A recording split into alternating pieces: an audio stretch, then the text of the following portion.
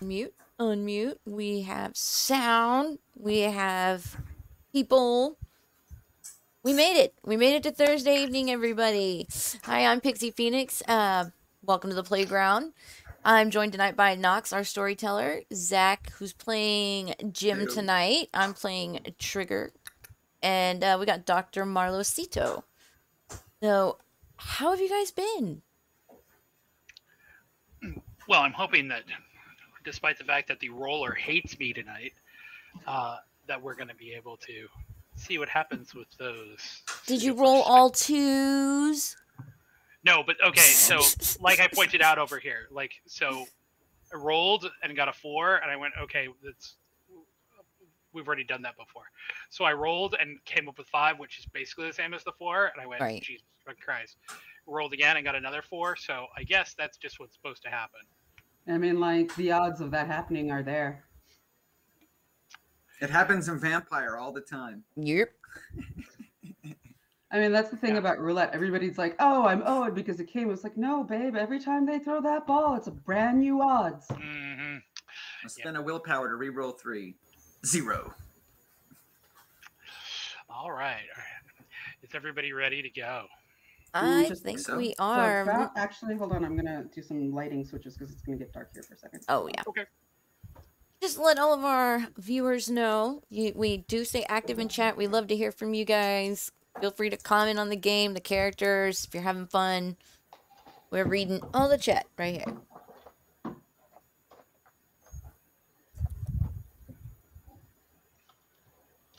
Meow. God damn it.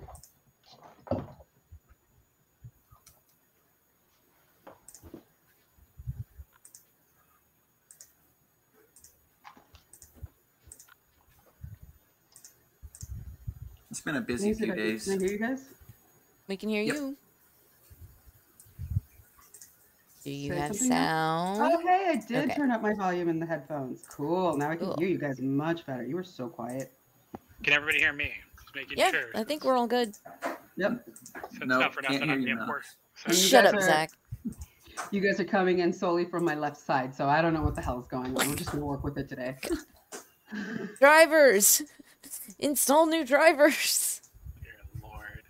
All right, everybody. Welcome to our Thursday night game of Mothership, session four. Last week didn't count. Yeah, we had a little bit of a Mulligan. We're gonna call it a uh, mulligan. interruption by local SWAT. So, Question: Did, pe- did like people end up getting arrested? Like they like how many people did they walk away with? I I don't know. We didn't we didn't stay out there till completion. They were out there for at least two Hours. hours. Any more But I- after that first one? No, no Mm-mm. more explosions after that. But But we, I, I did try to look up local news, multiple channels. The, uh, the local PD has a SWAT Twitter. I've looked through that. There is no record of them being called out there. Interesting. So I'm wondering if they stood there for Oh. three hours shouting at an empty apartment. Total sus. I mean, it wouldn't surprise me. Mm-mm. It's Texas PD, and and in general, it's PD. I don't know what the boom was, but yeah. I'm thinking it was a, a stun grenade. But it didn't seem like they ever entered the residence. Like it, at least when we were out there, and the boom happened before we went outside. Yeah. So like when I went outside, they were all just standing there with the megaphones, and they had like all the SWAT and uh, everybody in there. They're all just sitting out there behind the truck, just you know, just chatting and chilling and just, Oh, you don't laughing and joking and yeah. Away so- from the direct danger, just hanging out, protecting their own lives, right? Oh my Yeah. God, shock. I'm bitter. Um, I saw that thing about like uh, Uvalde's sheriff's office. They have like a banner in their office talking about bravery and like how brave people are the things that act when it's still dangerous, which aged like milk. indeed, particularly given the events of today with the SCOTUS rolling. I don't. E- Yep, they can go fuck themselves. I want to move to Europe. If anybody's uh, trying to bounce out to someplace that has really good healthcare, let me know. Wish. I'm trying to see if I Okey-dokey. can get like a Greek passport. So, you guys wake up in the tank. It is completely dark everywhere but your encampment. The lights are floating kind of haphazardly out in the tank, giving it almost a sparkling star effect. So the question is, before you guys head elsewhere, is there anything that you discuss amongst yourself? Is there anything that you change out in packs? Are you Uh, I'm going to discuss about the uh, what like I guess we're going to be with Carr and Carr is going to give us the list of uh, of uh, supplies he needs, like the spring, the um, electric razor, the ink, the needles, all those. okay? So I'm going to just tell you before we go, keep an eye out for all of these supplies. We're going to um, we're going to need them, I think, in the future. I think I would just discuss with Jim about uh sorting out that ammo. hmm Okay, so where do you do you head straight through Arcady's bunk? Are you heading straight for the Acheron? Are you what are you doing? I'm gonna before uh yeah, let's go back to where how we started, but instead of going straight to the um going straight to the to the to the the zone, uh, I'd like to take some time in Lost and Found. Mm. Okay, so when you head through Arcady's bunk, it is back to being the kind of immaculate unit that you've known it to be in the past. Uh, bedding's made perfectly, all of the containers are locked up, everything is as clean as it gets around here. Mm-hmm.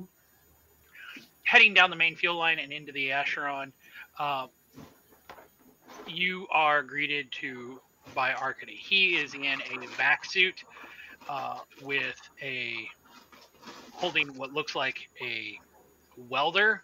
Mm-hmm. And when you walk in, he raises his hand in greeting. He says, "Ah, good morning."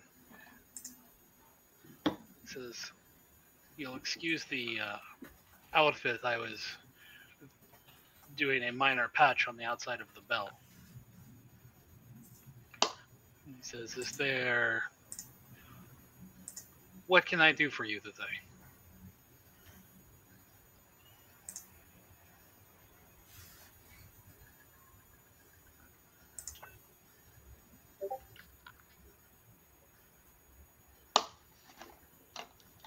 Dr. Marla? Marla?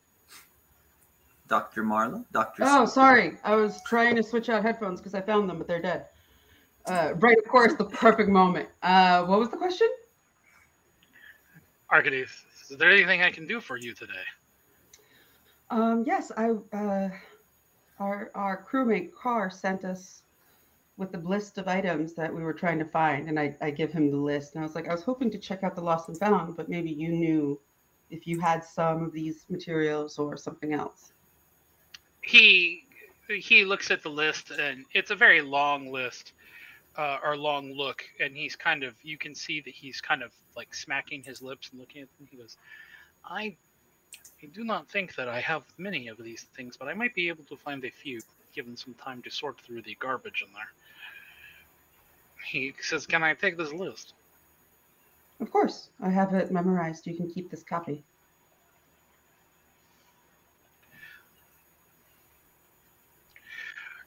Now again Oh, what are also, the also on the list is dice. what else is on the on the list dice Uh, so dice, um, an electric shaver, um, needles, preferably syringe needles, hollow point, um, a spring, ink, pens, and uh, a rubber bands. Rubber bands. Okay. Uh, he. Perfect.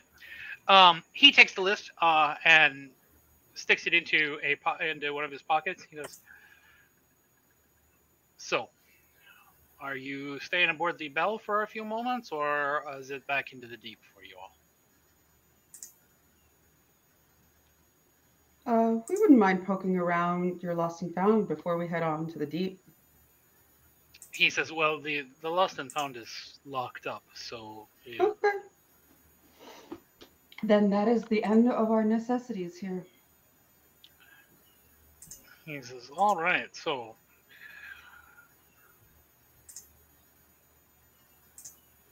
Two You your seconds. I gotta get away from the headphones. One second. Arcady turns to you, Cupcake, and says, Je suis retourné. "Are you?" He says, "Are you doing all right?" I mean, I think so. Uh, as all right as we can be, considering what we've seen, what has been seen so far. hmm I, I didn't really see it. That's why I'm kind of going to investigate. I'm just kind of, Like that's why I said heard. yeah. And he says, "Well, if it makes you feel any better, you are among the very few who has managed to do this many dives into the deep and come back successfully every time." I hope we're not running out our luck. Yeah, me too. This is the only one who has been far more than you all has been the ghost either, but he, it has changed him. Not for the better. I wouldn't expect anything here to change anybody for the better, from what I've heard so far and what has been brought to me. The Rico seems to be changed for the better. Although she never talks about anything but the fucking Minotaur. Hmm. He says, Are we ready to go? Yeah, I think Uh, so. Yeah, before we go, I'm still going to do the thing with my packs that I did last time. Okay, which tell was um, let me let me see. Where's my uh, gear?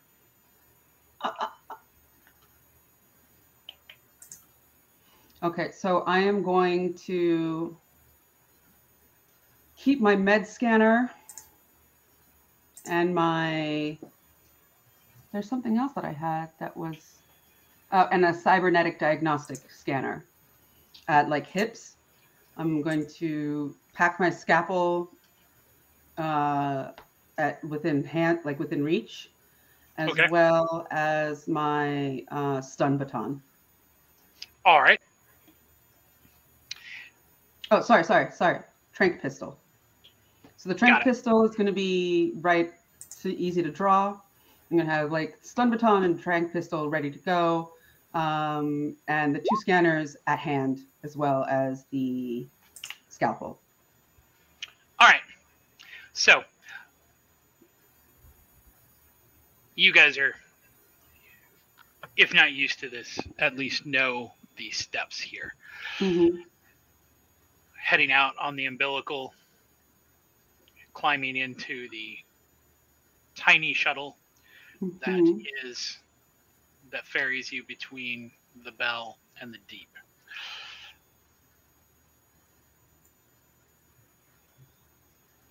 The trip is smooth, uneventful. When you arrive, there is, of course, no one in the visitor's dock. Is the hangman still there? Well, you're in the visitor's dock. Oh, okay, yeah, sorry. when you open the door and climb out, Arcady leans through the door and holds up his radio and says, You have this, correct? And whoever has it, I take it shows it. he goes, I know, I know, you know the rules. He says, but I tell you again for reasons. He says, you call, I will show, but give me some time just in case. He says, good luck, good hunting. And with that, the door to the shuttle closes and he departs, leaving you in the visitor's dock. You notice the arm in the visitor's dock covered in that rigid flesh tone plastic and covered in diver graffiti. There is new art on there. Uh, some of it's been scrubbed out, some of it has been redone. It looks like somebody has tried to like copy it over top of what was originally there. Um,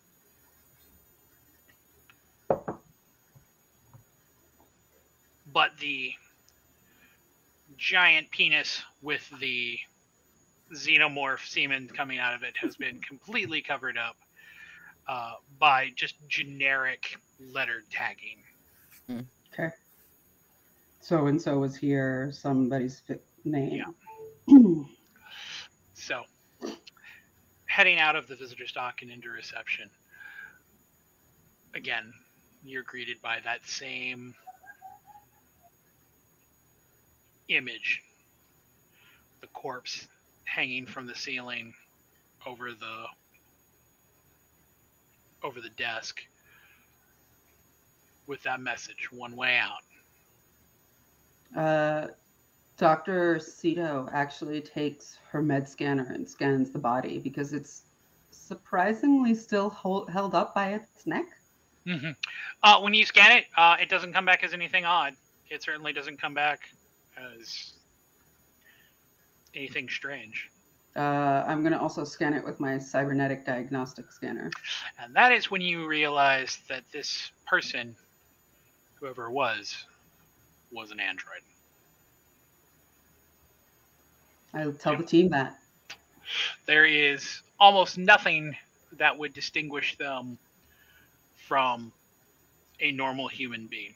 They look exactly like anyone else. Hmm. Flesh feels the same. The coloration, skin tone looks like pores, looks like everything looks identical to a normal human being. But right this there on the scanner, you see It's an android. this is an android. Uh, Dr. Marla is super intrigued and she goes to see if she can biopsy a part of his arm while, while not destroying it, just to see what's underneath, like how it looks so like this, and get samples. Uh, when you there's nothing, of course, stopping you from doing that. So, what exactly are you looking for when you're taking these samples? The any like like yeah, it's an android, but because it's so hyper realistic, um, the curiosity of like how it's made kind of comes up.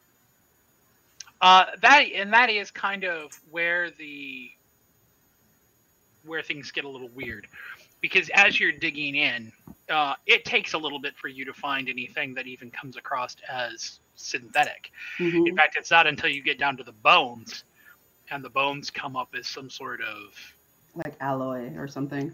It's it, well so what it actually is is it's like a steel filigree that has been filled on the inside with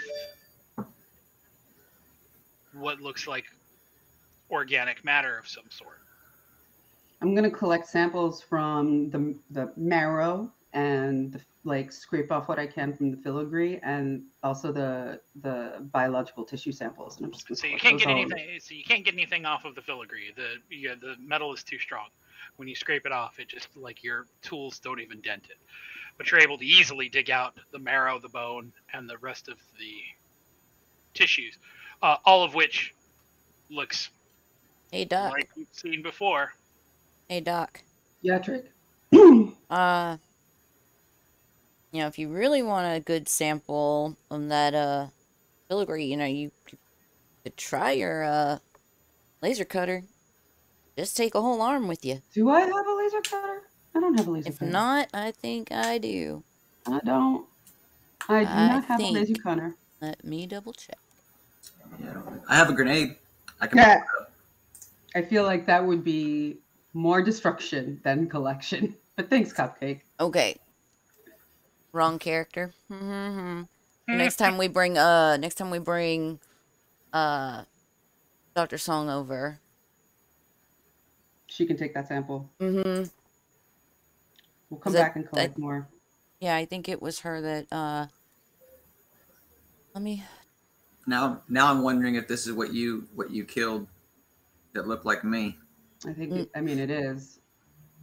Well, something like it, yes. I mean, that would be the android that came out looking exactly like you. The vibe So- vibe vibishet Shetty? Fibichet. Vibishet? Okay. Okay. That What's a might trebuchet? work. Can hack through limbs or dense forestry, but not metal doors, airlocks, etc. On It's that like a one. machete. Then it must be my other character. Hold on.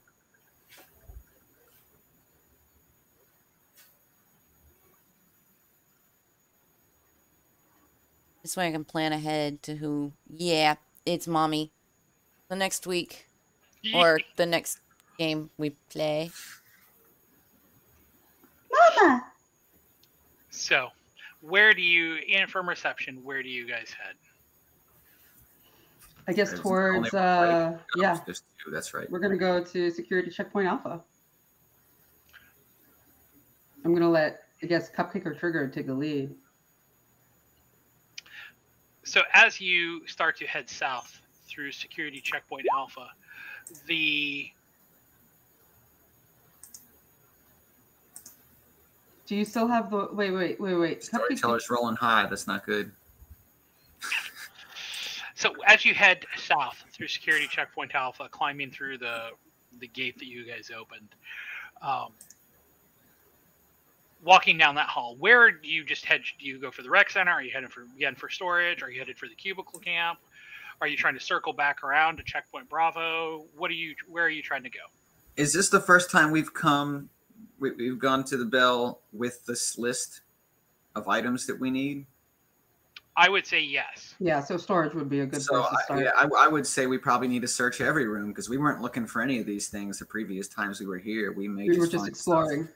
Yeah, we may find Right. stuff in rooms we've already been, like the desk that the guy was hanging over in reception. Mhm. So where are? So where do you go first? You head for rec center or for storage? Storage. So once you get into storage, again, storage is a reasonably small room. It's big enough for, you know, it's like maybe 18 by 12 by 8. It's a large storage con- uh, storage unit. Mhm. Um, there is not particularly anything, you know, of note in there. Smashed chairs, broken shelves, tangle of destroyed boxes, uh, and again, uh, the only thing that is particularly that you guys have seen before is the do-it-yourself retina scanner that's on the wall with that label that says access on the side. I wonder if that's where where. Where it got your copy? that's- Yeah. I'm gonna go ahead and use my scanner on it. I doesn't uh, it doesn't work. It's it's a piece of machinery. It's not a piece of cy- uh, cybernetic. Cybermedic. Okay. You get an error message. Blue screen of death. Yep. So you guys wanted to search, correct? Yeah. At least for the stuff on this list that we're bringing. All right. I need you to roll Who does? a uh who's going to do the search? It's a it's a D100 roll. Somebody Is can there is there anything um, that would assist with that? Any uh, No. Any skills? No. So it's just any. Okay. Any of us, yeah. Who's been here first? Is there an easy way to just make a D100 roll? Yeah, you go Yeah. to the die. Oh, I can from the I die. can do it. Hold on. Okay. I just didn't know if there was a way to do it from the character sheet. Woohoo! 37 shit. Well, sometimes low is better in this game. I'm. It's weird. True, true. I'm finding that out. So you find a. You gotta remember, Zack, the the rolls in when it's hit the roles that he that Nox is doing. Um, if I'm correct, it's similar to how we used to play House on Haunted Hill, where you roll to see like what the monster is and roll to see what item is this. It, Right. Like it's a random, and that's why they had the booklet and everything. I think that's how he was explaining it to me. So you guys find uh, in a box. It takes you a couple seconds to just going through the stuff that's in there. You guys find a box that contains um, some ink and some pens and a bunch of a small cache of micro cassettes. Collect all of them. Yeah, microcassettes could have some audio information on them. And uh, I'm gonna come in close to Cupcake and just be like, see if we get pick up random stuff whenever we find something. Yep. Now that yeah, So Never like we can pick up the pens and the cassettes, uh, and if there's anything else on the desk that's like odd, and the ink. too. There was ink in there too, so that's two Yep. things from our list. So, having gone through storage, uh, found those things. Where do you head? Are you heading back across to the rec center, or are you? Sure. Yeah, How to the rec center. So, when you go into the rec center, uh, something that you noticed that was not the same as it was the last time is that the lights are more of the lights are broken here. Um, some of them are flickering. Some of the the overheads are are not functioning properly, which means that everything here uh, is a little more in shadow, a little darker than it was before. Um, Anybody have a flashlight? gives gives it kind of an eerie, haunted feeling.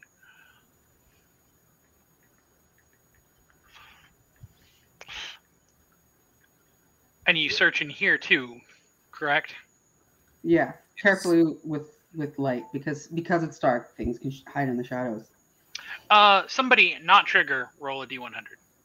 I got it. Ooh.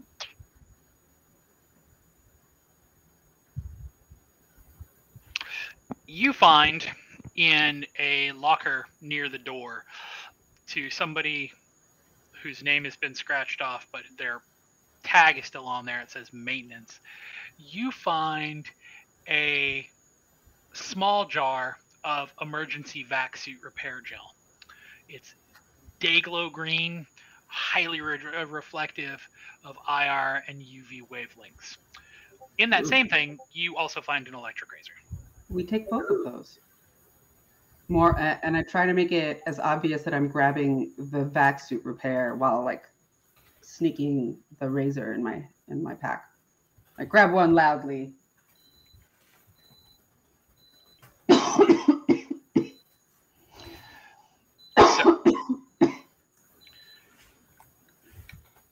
Where do you guys head next? I guess cubicle camp carefully. Yeah. I Heading would down, like to try to see check out the cafeteria after hearing about all those things. heading down to the cubicle camp uh, is the first time that you find it. You can hear the crackle of fire before you get there. Mhm. uh, when you walk in, there is someone who is sitting next to the fire, warming their hands. Uh, they have kind of a grizzled look to them. Mhm. Um, they look like they've got a crew cut, uh, kind of a longish beard. They are wearing a some military BDUs. Uh, they have a rifle of some sort that is strapped across their back. Uh, they've got an SMG that's on a strap that's basically sitting on their stomach, uh, and they are warming their hands by the fire. It looks like there's some maybe some sort of food product that is on there in a can. When you enter the cubicle camp. The man does not even move. He looks up at you, but he makes no move to towards his weapons to dive out of the way.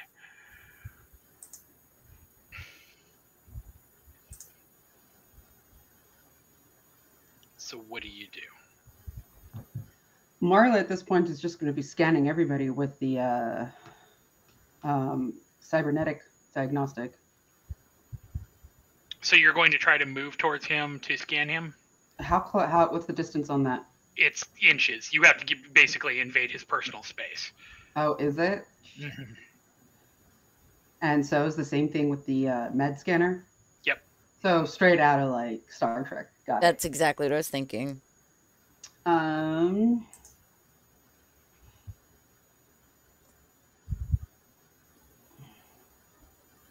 I guess uh, I'm just. I'll lean in and say, uh, maybe I can distract him. I'll get him talking and, uh, you know, you move kind of behind him and maybe uh, get the back of his head if that works. If you can be sneaky, sneaky about it. Do we need to like interact with him, or can we just go about our business? Because it doesn't seem like he has an issue with us being there. Yeah, if he's not if he's not like being hostile, then we, we would just I think we would just search the camp for whatever's there. I mean, he's Just definitely he's definitely noticed that you're there and he's watching you. Okay. But he's not. It, he's he hasn't said anything. He's not. All right. Well, then, if he's watching us, I give him a wave. he gives We the, yeah, the- acknowledge them. he gives the barest of a head nod, And that's it, and go about our ways. but he uh, he certainly does not come across as any friendlier. Just you know, acknowledging, and then like going about our lookabouts. And how many of them are there? Uh, it's just him. Oh, just one guy. Okay. Usually, there's more. Do we see their camps? Uh, you don't. If you're uh, going to search, uh, cupcake roll me uh, D100. This will be the bad one. See, yep. Told you. Well, that's not a. It's not a stat roll. Again, this is like rolling for what we would find in the room. I know. Or what we would see. Oh, hi. knowing- Yeah.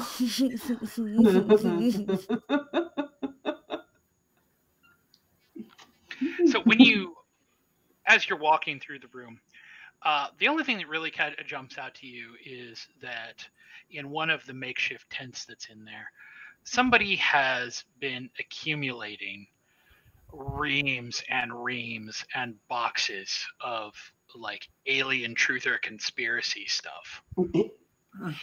Like it's like it would it would be laughable except for the fact that there's so much of it like this is not somebody's part-time somebody took the a lot of time to cobble all of this together Marla recognizes, uh, Dr. Cito recognizes this from her university years as researching truth in mythology. so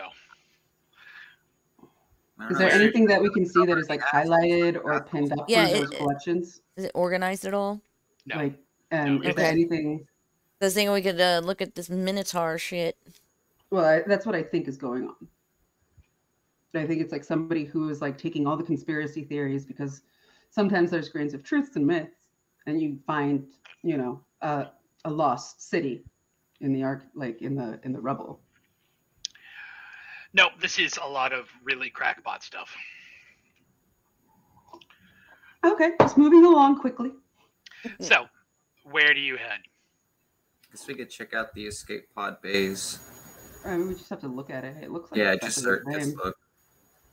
So when you go up to the escape pod base, um, there are a couple of things here. One, uh, there is a splash of blood New. Hmm. on the escape pod, the outside of the escape pod base, almost as if somebody lost their head here. But does it appear that the door has at all been opened or anything No. has changed inside? Still pristine? No, and the inside looks absolutely pristine, like Okay. to to to the point where now that you've talked with your other crewmates and you guys have ventured down, uh, this still stands out as by far the cleanest place in the entire facility so far. Super unnerving. Hmm. And considered with this fresh splatter of blood right in, right off the bay, it's like, yeah, I think this is a no go.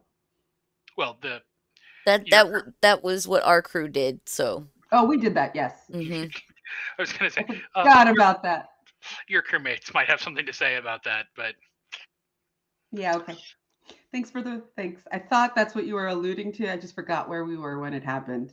Didn't remember that we were right next to the escape pods. so what what is your next? Do you head from there and head to out and head back north, heading towards checkpoint Alpha? Are you heading towards security checkpoint Bravo? Uh, I'm gonna lean into. Uh, I'm gonna talk talk to uh, Trigger and Cupcake and say, uh, I I'd like to check out that cafeteria if we can. sounds So good. you know you can go there's two two roundabout ways you could the most direct way of course is going through checkpoint security bravo uh, but the the other way is of course going roundabout going all the way through alpha reception and then down the hall But we did make a. We opened up Bravo, right? no That's bravo It's still like sealed, closed. Got it. What did we open? What was the the part that we cut open? uh, i don't recall you cutting open anything Like we broke an entrance or something. alpha Mm. Alpha. Yeah. Okay. Do we do we remember know what was required to get through checkpoint Bravo? uh, that would have been where the uh, Android. the android that has the machine gun is that is wanting you to turn over all your gear Mm. Okay. I say we just go around it then. Yep. So, heading back north through Alpha into reception. When you get into reception, there is a kid there. He Hmm. looks like he's maybe 18, 19 years old. Uh, just the barest scruff on his face, head shaved smooth, uh, wearing uh, t-shirt, overalls. He's got like a makeshift harpoon that's on his back. He's got on one hand he's got a gas canister, and the other hand he's holding a welder uh, that he has basically put on a stick, so it's kind of Like a some reach. yeah. Um, when you guys come into reception, uh, he's examining what you've done, Marla, to the to the swinging corpse. Mhm. Uh, he hears you come in, and he wheels around and flips on his gas can, sparking the blowtorch. And he kind of waves it threateningly at you, and he's like, "Get back, get back! I know how to use this." Obviously. What the hell's your problem? Well, we know He- what his problem is. He's like, "Don't start none, there won't be none." Likewise, kiddo. Oh, shit, Sherlock, you're the one throwing flames at us. He continues holding his defensive stance, and he kind of like motions for you to move along. Uh, we're actually gonna search this room. No, we did search reception. No, we didn't. Reception. Yeah, we did. That's where we found. No, you um, guys, you had well, that's where you cut open the arm, but okay. you guys didn't ser- uh, didn't do any searching there. Uh, We can search on the way back since there's like a feral raccoon with the body. Okay. Just hope he doesn't torch the place and then burn whatever we came to search for. But so when you head out of reception, as you guys move on, uh, he holds his makeshift flame sword I love it. in a defensive stance until you're almost out of the room, and then he cuts it off and goes back to looking at the fucked up arm. Dumbass punk. Heading towards the cafeteria. When you get there, um, it's empty. There's no one there. There's no weird faceless creatures playing hide and go seek. There's nothing here that there's no like food that's left out. Uh, it's in as bad a repair uh, condition as it ever was, but at least it's empty. There's not even a rat with a plate. Uh, that's in the kitchen. Kitchen. Oh, okay. Uh, search the corners for anything. Uh, roll a d100. Yes, sir. Yeah. Did I do it? I did it. You got an 11 and a 9. So if we're going for low rolls, you're doing good tonight. for the moment. I love this saying that they have in Greek and they apply it to like every game. But like if you're like lucky in cards or lucky in dice, they're like it's like, oh, so you're unlucky in luck. So when you, as you're searching the corners of the room, you hear footsteps coming from behind you. And we are not spreading out this entire time, right, guys? We are a unit. We're not putting 10 feet between us. There is no COVID. When what do you like coming from the hallway we just came out of, Mhm. I'll turn around and, and look. Uh, it is. There are two security androids. Are they armed? Yes, both of them are armed with uh, submachine guns. Well, so are Is there a place to hide? Uh, you could attempt to hide underneath of the uh, cafeteria uh, uh, tables Tables? or behind them. You could duck into the kitchen. Let's duck into the kitchen. Yeah. So as you duck into the kitchen, uh, there is so there's the two doors on the side, and then like kind of here in the middle, there's like a galley. So like Yeah. you can you can You see. can see through Um, or past fishes. when you go into the kitchen, uh, the first thing you notice, uh, one, it is just again same same thing you've seen before. Uh, everything's kind of ransacked in here. Uh, except the burners work there; they've been jerry rigged. The only thing that is there again in the middle of the room on a prep table is the golden rat, and on that prep table, there are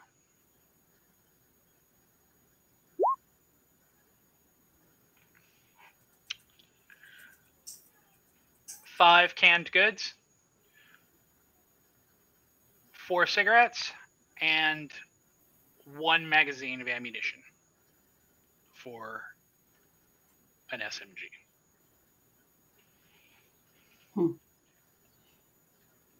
Marla is like uh very interested and she's walking over with her like scanners and gear just to examine before touching. Uh, the everything scans uh, scans as it should. I steal one of the cigarettes and light it. We are being followed. You are From- unawares of how fast I can smoke a cigarette. Fair. From where you are now, uh, you can see the security androids. Uh, they are looking through the room. Uh, it becomes very apparent just watching them for a second um, that they are very point A to point B creatures. Uh, you notice that they'll search underneath of something that's directly in front of them, but they'll miss the two places that are right next to them. They'll search for so they'll uh, look at something that's behind something, but they won't look around something.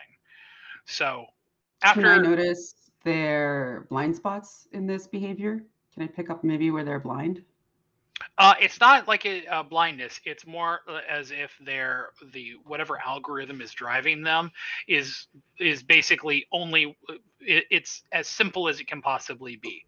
They are the. It's incredibly direct. But if it's anything that is outside of the, uh, outside of the most singular, individually logical a- answer, they don't take it. Okay. After so no, no creativity, no uh, complex thought patterns. after a couple minutes, they head through security checkpoint Bravo. Mm. Okay. We I resume searching in the kitchen, seeing if there's any drawers or anything. No, this place is trashed. The only thing that's in here are the um, is what's on the plate with the golden rat. Marla's not interested in any of that.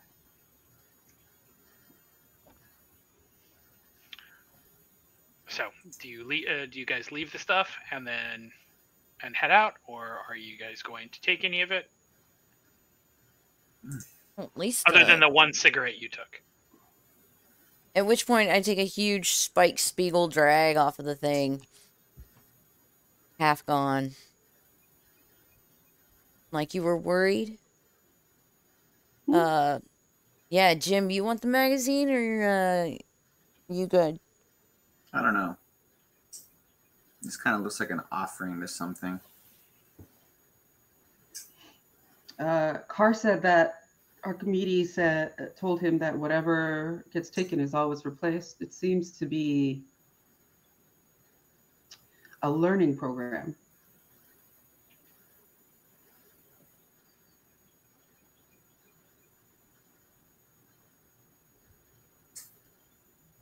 I think I'm okay. So, where do you head now? Are you going to head out of the kitchen and try to follow the security androids through checkpoint Bravo, or are you heading north towards floor two? I think the meeting rooms first. Yeah, I was about to say we could hit the, hit up those meeting rooms before hitting to floor two. So, when you head to the meeting room, uh, when you hit to get, of course, I'm going to assume you're going to go to the fir- uh, the closest one first. Yeah, get to the Bravo first, then then Alpha. Uh, when you get to meeting room Bravo, uh, the this is where you found the, The dude, bro, the- that was. trying to cut through the uh, carpet, but this is also where you found the artifact that was attached to the EMP mine. Hmm. But you know from having been in here, from having rummaged through it originally to find that, uh, there's not much in here. Okay. And then then meeting room A. Like I said, just mainly looking for like items on our list that we wouldn't have been looking for the first time around. And samples to take. So when you get uh, get into meeting room A, uh, there is uh, you found that backpack with the flashlight and the dud ammo and things in here. Uh, again, having searched this room already before, they, you're going through corners you've already gone through before. You're not Okay. finding anything else. Then I guess the floor two. I don't want to go to floor two. As you As we pass by reception, is uh, the kid still in there? uh he is not. Hmm. Well, maybe time to check that room. well, the kid's not there. Yeah. So let's while we're there, let's just go and ru- rummage through the um, the desks and stuff. The reception, real quick. Yeah. Okay. Uh, roll a D D one hundred. I shouldn't have rolled. So that means the next one's mine, I think. Yeah. You find a glass bottle with a label on it that reads "Elixir of Forgetfulness." It's empty. Mmm. When you smell it, it smells vaguely of 100 proof alcohol. Ugh. It is the elixir to forget. It's like, oh, I remember this smell from my childhood, and I put it back. Smells just like dad. Um, so, do you head back for the lift? Yeah, I guess so. Heading to floor two. Marla's getting a little visibly like quivery a little.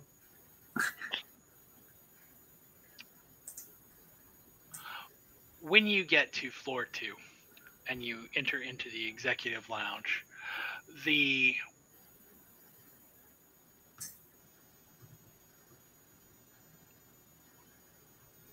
it is exactly as it was the first time that you saw it. There's nobody there. There's no particularly creepy children who are roaming around. It's just as it was. Uh, let's go to the washroom. We don't want to look at. We don't want to search this room. Yeah, let's. Yeah, where are we now? We are Uh, 25A Executive Lounge. okay. Lift two two two. See, okay, I see it. Oh yeah, let's let's just okay. check the lounge. Uh, and I'm gonna remind everybody: don't forget to get um whatever's next to what, whatever it is. Uh, going through the lounge, you there's not really anything here. There's nothing that's just kind of um, that stands out. There's um, some magazines here um, that are way out of date. There are some, Like how way out of date. uh, let's say that they predate your father. Okay, that, that's a good thing to know. Like, so it's been here since. Um, there are some, you know, some coffee table books that are laying there, but there's nothing that's really stands out. Uh, nothing that is worth ha- worth having. You think? I'm gonna take uh the magazines.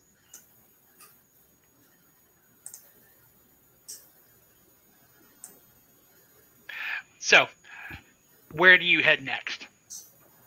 After having shoved the magazines in my rucksack, I say we go to the washroom. So, when you get into the washroom, you find yourself in a vaguely awkward position. As the last time that the crew members came through here and then climbed through the air ducts, they found Children. three kids on the other end. Here in the washroom, you smell them before you see them. There are seven kids who are smeared in shit and trash. They smell absolutely awful. Damn it, Raul. Um, some of them are missing functionality in some of their limbs. At least one of them has what looks like a limp. Um, one of them is missing an eye. Another one of them is basically missing uh, all of its teeth. Um, These are the failed clones. it makes it much easier to tell the difference um, between them. unlike the other ones uh, when you encountered A, B, and C, and then ran into the rest of them, where they all started to look exactly the same. Children Uh, of the cord. These ones are very obviously those same kids, uh, just With defects. massively fucked up. Do they see us when we walk in? Uh, they do see you. Uh, when quickly, does it appear that their injuries are like from heavy fighting, or that maybe like some of these injuries were Like, are they self-inflicted, or inflicted, they? or are they part of the creation? uh, so so many of the injuries look directly as if they were part of fighting. Okay. Um, some of them are some of them it's hard to tell. The one with the limp, there's just no way to know that it has clothes on. Um, and given the smell that's coming off of them, uh, you don't necessarily want to go asking them to like Mm. lift their pant leg. but when they see you, they're as soon as one of them sees you, uh, they immediately alert the all all of the others, and they kind of take a weird formation. In the shape of a- a shape of what? Uh, it's kind of difficult to see. It's not. Uh, it's certainly not like any sort of military formation you've ever seen. Um,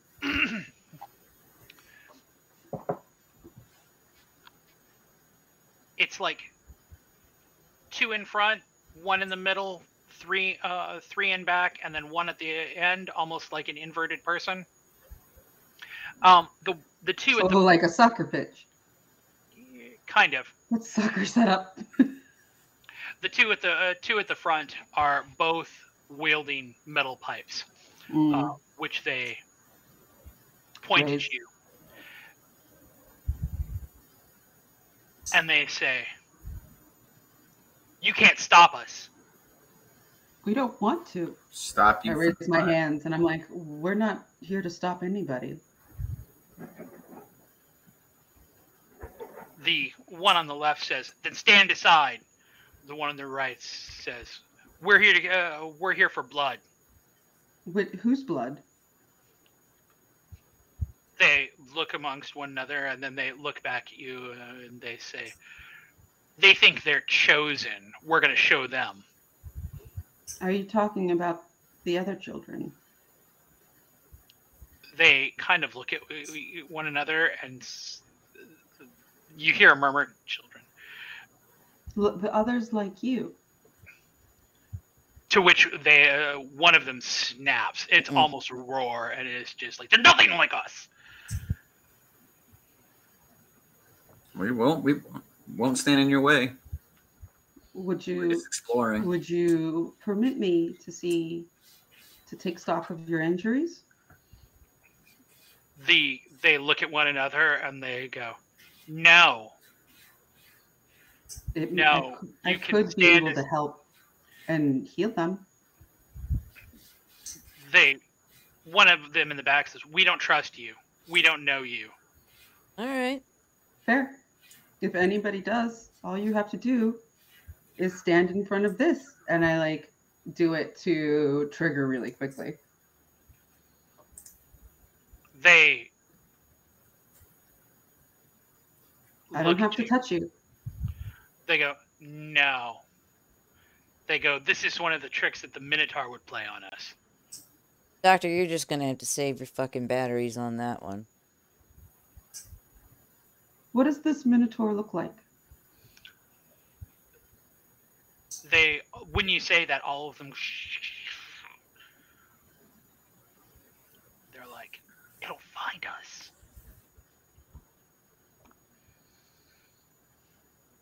What is it? What does he look like?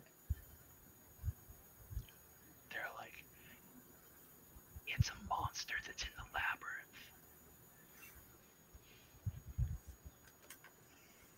Yeah, we're getting so much information. Does the monster look like us? No, it looks like a monster. Are you dumb? No, just human, darling. We're new here. We're just trying to figure it out. said the one of them says are you trying to leave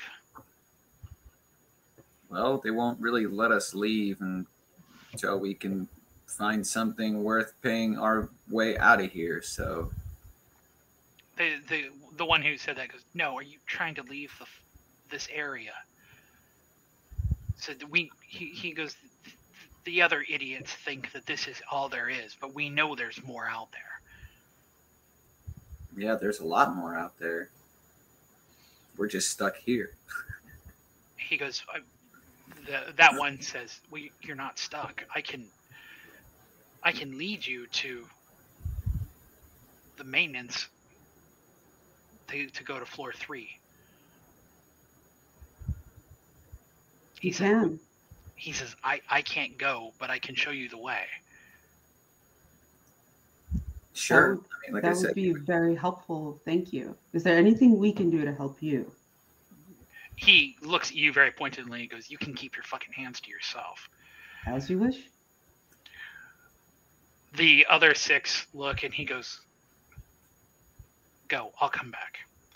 And they all start to head out of the washroom. Every single one of them uh, is giving you, Dr. Marla. Yeah, Yeah, they're all giving you the eye and keeping a very, very close eye on you. which is fine. I'm not gonna do anything unless like given consent. So. Uh, the one who stayed behind is the one with a limp. Mm. Uh, he turns back to the AC ducts and says, Well, come on. All right. Really think we can trust this kid?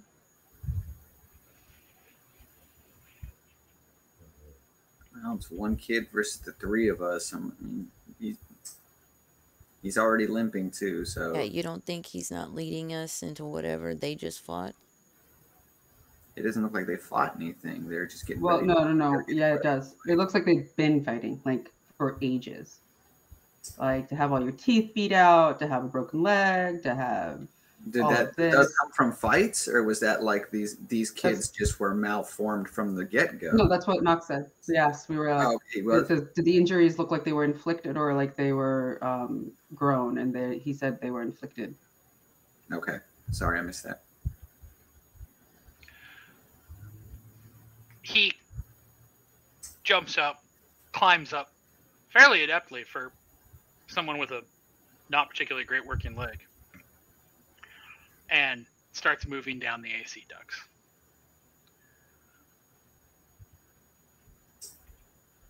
So, do you follow?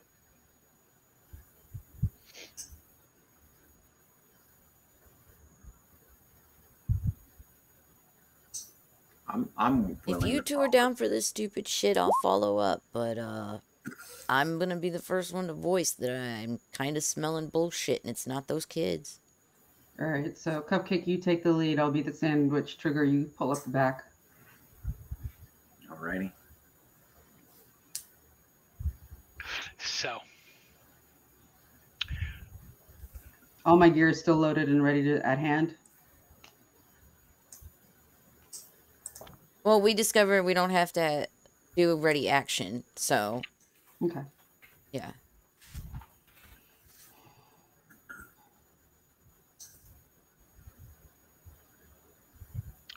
all right, let me.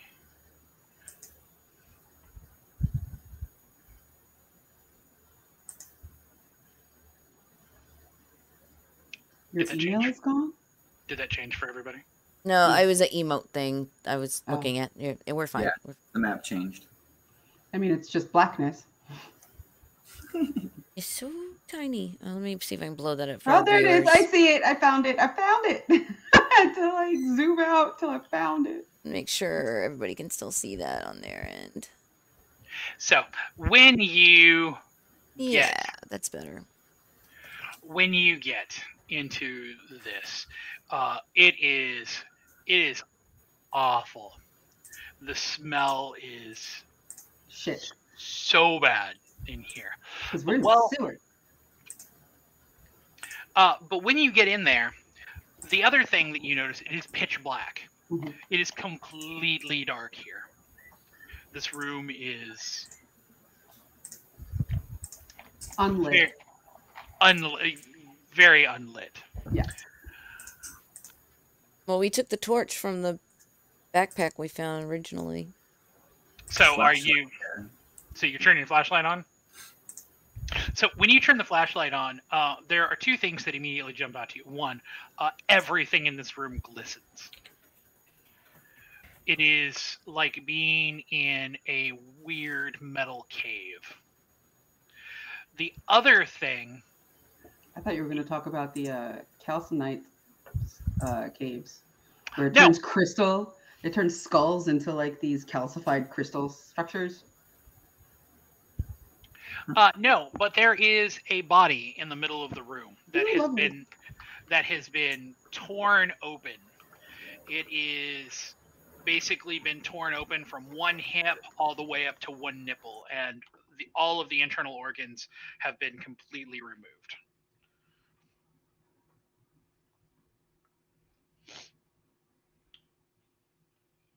You want to scan this one too, Doc? Yeah. So you're going to investigate it. Yeah. Okay. as quickly as possible. So when you go to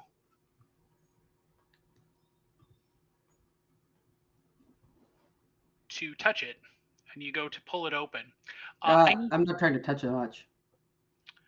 uh, I need you to roll a d100. Hmm.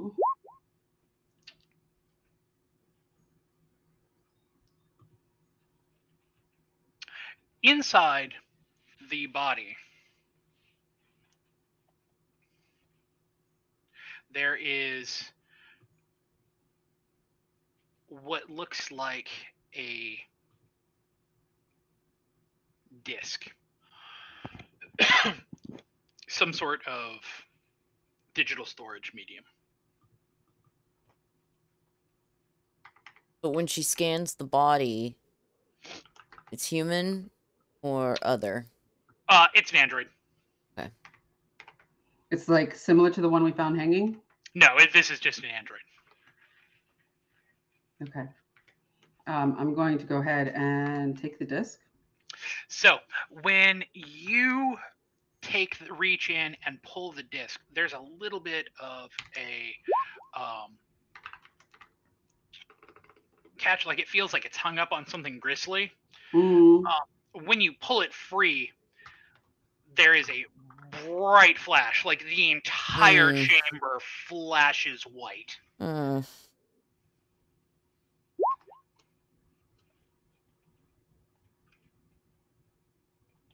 Fucking hell. Triggered a flashbang.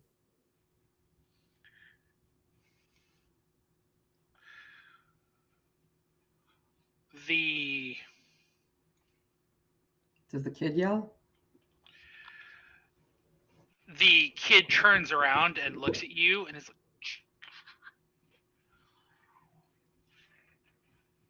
Do we even see it with the flash in our eyes? the flash wears off fairly quickly.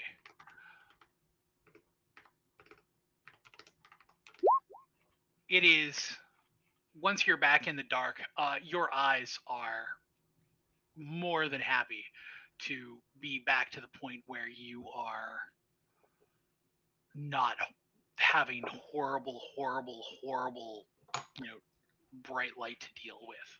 Mhm.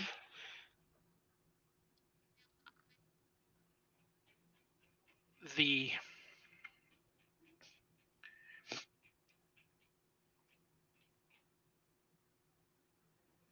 kid points to the southern part of the room. Uh, there is a metal grate Mhm.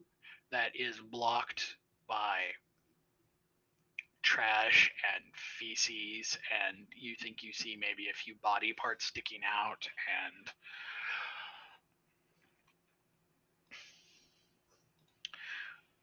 when he points to it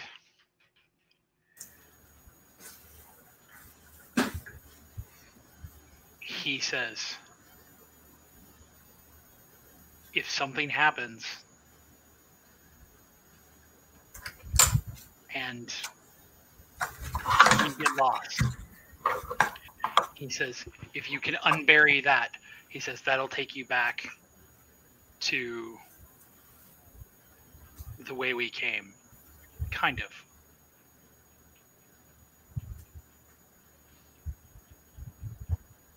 Uh, shall we go check it out? See if we can like clear it out right now. Like or like dislodge one main thing.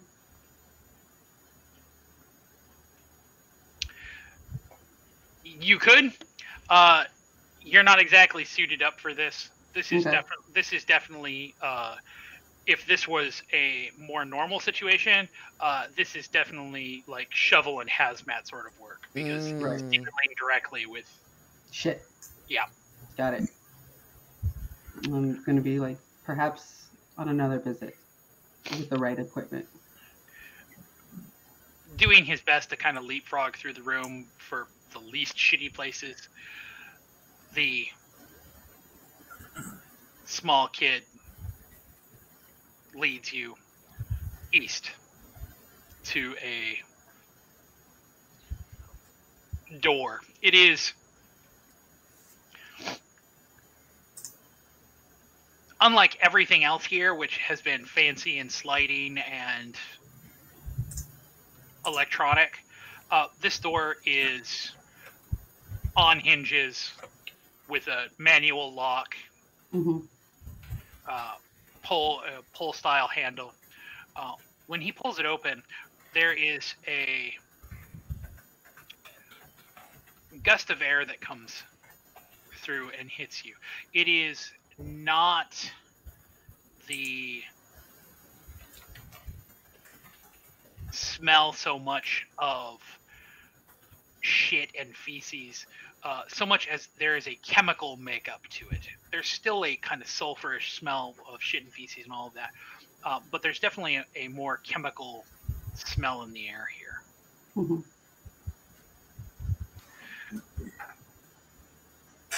when he leads you on, he leads you into a gigantic room.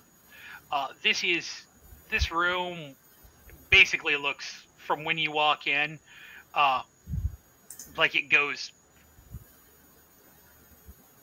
off into the distance. Like you can't see the other end of the wall with your light at the end. It is a giant filtration room. Okay. Uh, there is grinding machinery, everything here. It's a little difficult to hear in here because there's so much grinding and movement of machinery in here. Um,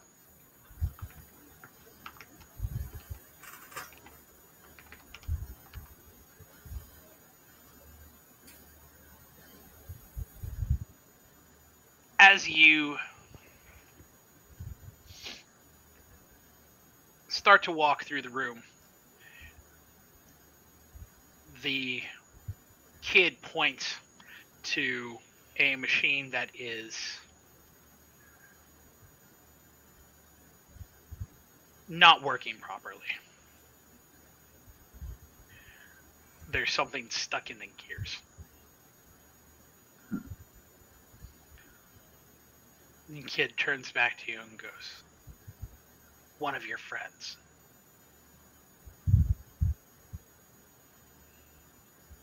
One of our friends Like another person. did it, or one of our friends is stuck in the gears.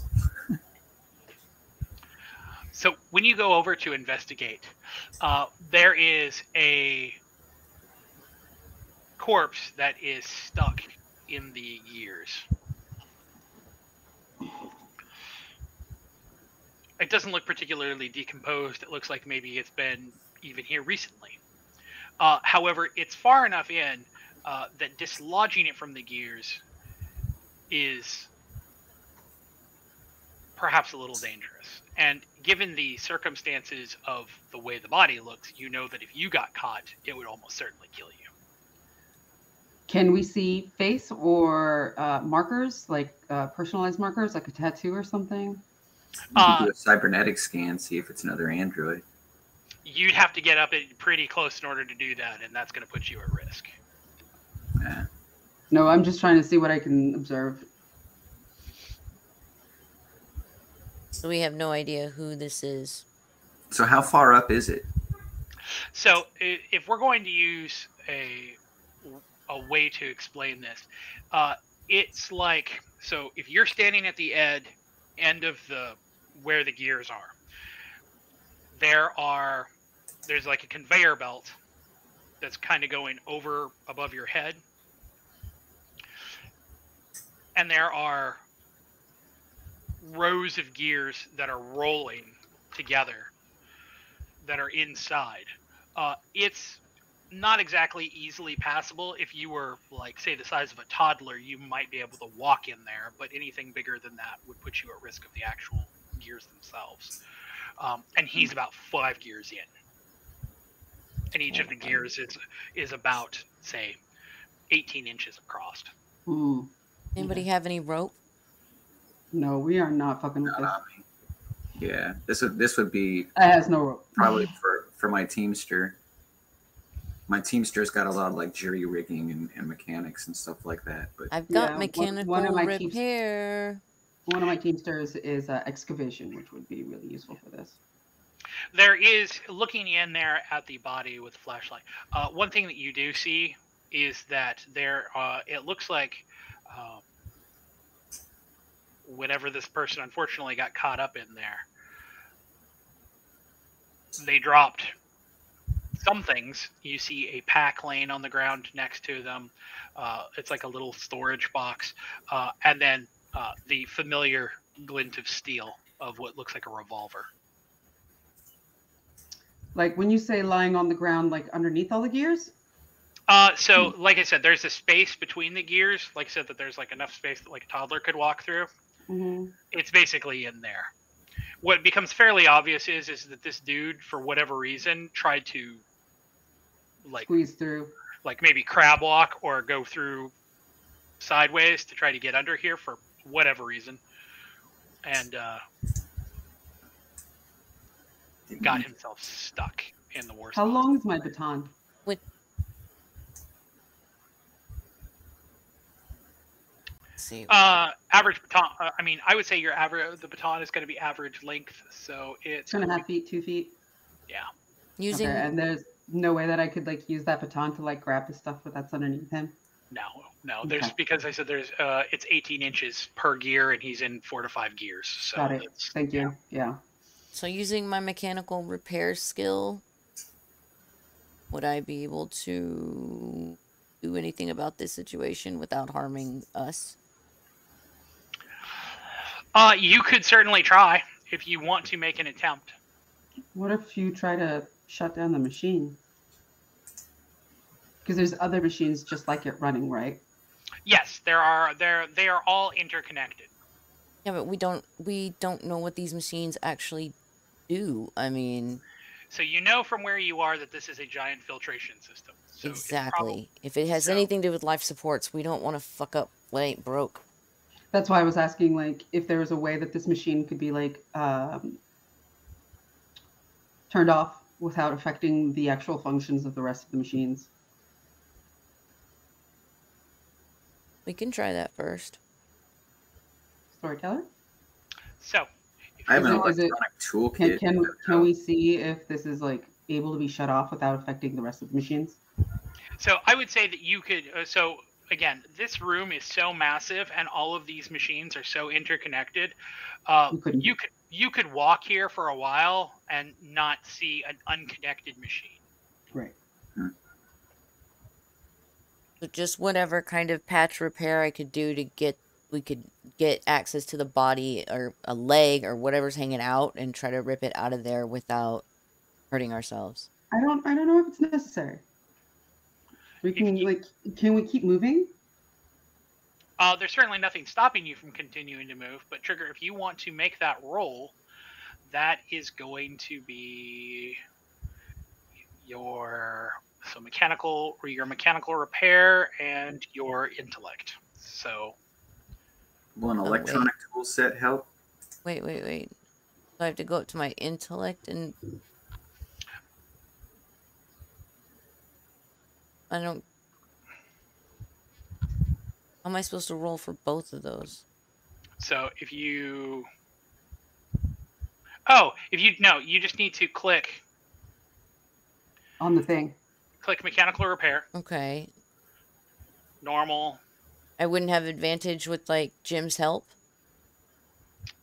Uh you could we could say you would have advantage.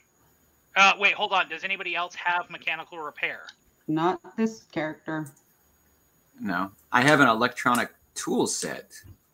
Does anybody I know. have No, uh heavy machinery? Not this character. not this character. Okay, then yeah, I get it. I was thinking brute muscle, but uh, and intellect. Okay, I see it now. All right, here we go. No modifiers. Nice. So you are able to trigger. You watch the machinery very, very carefully, and you've worked on stuff like this before when you were in the USMC. So when Hoorah!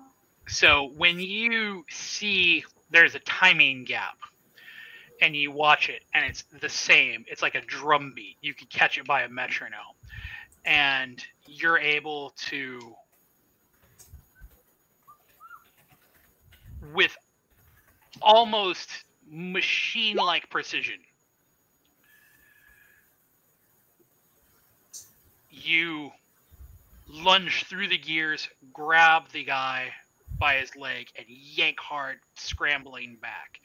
And without a second to lose, you manage to drag the remains of the corpse along with the kit that was on the ground and the revolver out onto the ground. Nice. Nice. Yeah, trigger. Marla is extremely excited and like is patting him on the back. She's like, "Well done, well done. what a wonderful, like, what a good job. Like, what a good performance. Well done." The the the child with the limp is kind of in awe and is watching and is like, "Wow, that's that's incredible." Near the body, there was a revolver, uh, full of shots, full ammo, Nice. and an electronic toolkit. Nice. Nice. Now we have two of them because I have one already. Well, Marla will take the gun because she is unarmed otherwise, other than like put to sleep, not like Trigger. shots fired. Trigger is probably best to take the electronic toolkit. Hey, Trigger, do you have a gun? I got an SMG, yeah. Okay, so yeah, I'll hold on to the gun. It will replace my stun gun. My my yeah, The I swapped the real one for that. the kid gestures to the body and says, "Are you gonna take him back to his people?" I don't know who his people are. I doubt they're still alive either. Did you finish scanning him, Dr. Marla? No, I'm scanning him now. Oh. It's just a person. Is there he any? Um, can I would like to go through like pockets and stuff, see if there's any identifying features or a ship name or something. Is he wearing like the same type of BDUs as the guy that we saw upstairs in the in the cubicle room? Uh, no, but he is wearing something similar to the three guys that you saw once upon a time. Ah, okay. They were in reception, I think, weren't they? Uh, no, they were they were in the the the the rooms. No, the uh, the three um, from Oh, the the the break, not the break room, the cubicle room. uh, no from Syria. uh, from session one where you met them on the bell. They were the three who were mercs who Oh, were okay, like okay. hoorah, ready to go. So, on this particularly poignant note, let's take a quick bio break. Yay! Sounds like a plan. We'll come back at five after. All right, everybody. Thanks for sticking with us. It's the halfway point. Go get yourself something to drink, a smoke, whatever you need, and we'll be back in a few. Dun-dun.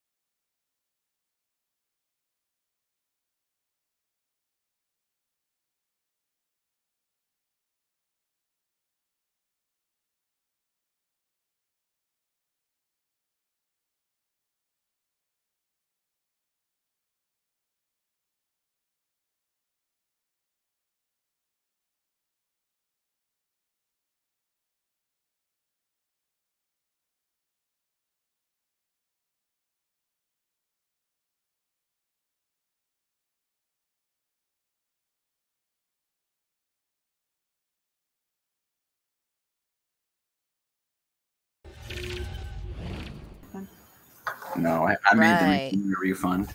Yeah. All right. I think we're all back and refreshed. Thanks everybody for sticking with us through the break. I'm Pixie Phoenix. Welcome to my playground. Uh, I'm joined tonight by Nox, our storyteller. Zack is playing Jim tonight. I Hey, am Trigger, and Martha is playing Dr. Dr. Marla Cito. And we are playing Mothership, a sci-fi horror role-playing game. So we will get back to the action. So, heading. So you have just pulled out, thanks to a incredible piece of feat of bravery, pulled a body out of the machinery. Does the body have like tags or anything, like a dog tag? Uh, i- if it does, you think they're probably have long been cut since in the machine itself. Yeah. This I was is not Wondering Really? if we could take anything identifiable back with us because I don't know if we can take the body. Uh, so to give you a description of the body, um, everything from the let's say about where the um, chest meets the abdomen Mm-hmm. down is basically fine. Uh, everything from where the chest meets the abdomen up uh, looks basically like a hamburger patty pre-cooking. Everything identifiable. So when when the kid asks us if we're gonna take him back to uh, his people, we're gonna say like, I mean, we can't even tell who his people are the way he is. the kid gives you kind of side eye when you say that and doesn't say anything. But it's fairly obvious that the kid is not particularly pleased with this response. We could if we would. We would if we could. My like, uh, what is your name? Uh, they he's never given you a name. I'm gonna say uh, that's that's part of the the, the dialogue. We would if we could, but this has been treacherous. I'm looking for something to take back to his people so they know. There is nothing distinguishable. You can take his pants, I guess. I'm okay. Uh, but I do ask the kid, "What is your name?" he looks at you and thinks about it for a second and he says you can call me lefty Leg. Yeah, I, I got it. he Thank you, you Lefty. I'm so like, thank you. No, so, no, that was that was so just me being yeah. rude. and- not in Yeah, that- character. It was just And I'm just gonna tell him. Uh, uh, I'm gonna say thank you, Lefty. he doesn't change his facial expression at That's all fine. and continues leading you guys through the filtration system. After about 15 minutes of walking through these massive, massive machines, Does it does it need to be said that we picked up his pack and his effects? Yeah. uh, I believe you said that you Okay. that Marla picked up the pistol and that you had picked up the electronic toolkit. Yeah, and I guess we should take the pack too and see what's in it. No, that was the electronic toolkit. Okay. Okay. So, as you're walking across, after about 15 minutes, you start to hear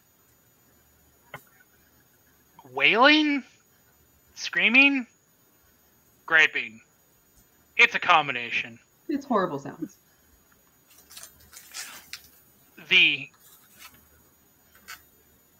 kid starts looking rapidly around and then drops down into a crouch and starts moving forward. Do the same. Follow his lead. He comes to a corner and he points around. When you look, there is what at first glance is a person. They are wearing a lab coat. They have a hard hat on. Um, but when you sit there and watch them for a second, it becomes very apparent that something is very wrong here. For one, uh, they are partially translucent. For two, there seems to be. It's almost as if there is a uh, loop on the behavior. Uh, he looks at something on the paperwork, um, and then looks into the one of the machines, and you hear The wailing. wailing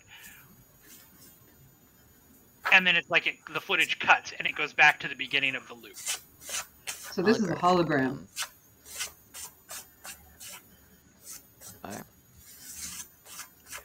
so So- what do you so Uh, what do you do Is there anything on the floor or anything to throw at him? I uh, I look back at the kid and I'm like, uh, kid, you seen this before? he he nods and says ghost But the ghost has never hurt anyone. oh they can hurt you Oh, Do they do anything different than this? he says they're all different Interesting. How long do they last? he looks at you and goes how long are you dead I mean, this guy wasn't here the whole time we were here. I mean, he wasn't doing this the whole time we were here. So what? so what do you guys do How safe is it to get by him? um there's no real obvious way to go Well, around I was talking to Lefty. Oh, he kind of glances around. He goes, "You could we could try to just walk by him. Sometimes they don't respond. Sometimes they do. If if they do, we can always run. I guess." not a question, but if there are rows and rows of these machines, can we not duck behind another row of machines? Take an indirect route. Oh no, he's he's I think around the corner. So where we he was leading us to go to the third and fourth floor, I think this is like in between us. Hmm. Okay. That's why he like heard the wailing and crouched down and like was just like look, and it was around the corner. So what are you guys going to do? I asked Lefty, what's the success rate of being ignored? He kind of looks at you strangely and goes, "I don't know. How often do you fuck with ghosts?" They don't exist where we're from, so This is the this first is I've new. never seen a ghost before.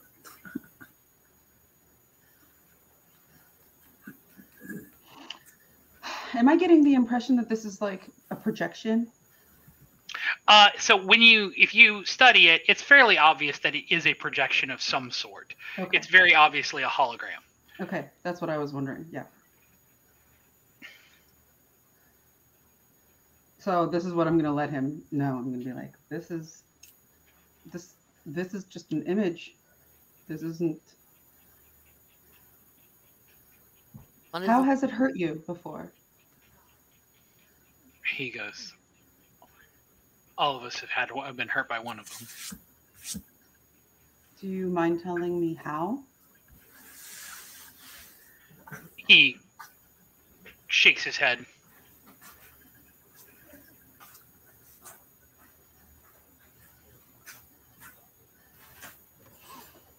So that's like a no. He's not gonna tell me.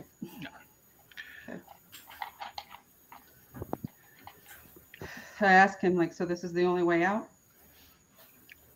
He says, "Well, we can go back to the drain uh, to the, the drainage." But he goes, "But if we," he says, he kind of points around and past the hologram, there is a set of stairs that are going up. Looks like about up a flight, Uh-huh. and then double back and go up another flight Yeah. um, to a So like zigzags. yeah, kind of zigzags up the side um, to a large pipe. Uh, pipe's got to be A walkway or something. no, the pipe itself is like maybe 25, 30 feet across. Mm-hmm. He says, "We have to go through there." Why don't me and Jim just take the lead and head up there and see what Alright. the hell we see? Well, I'm then- gonna tell the kid to lead on. Because we have to like he's gonna lead us past this hologram with an effort for it not to hurt us. I'm hoping. So, are you taking the lead or are you following the kid?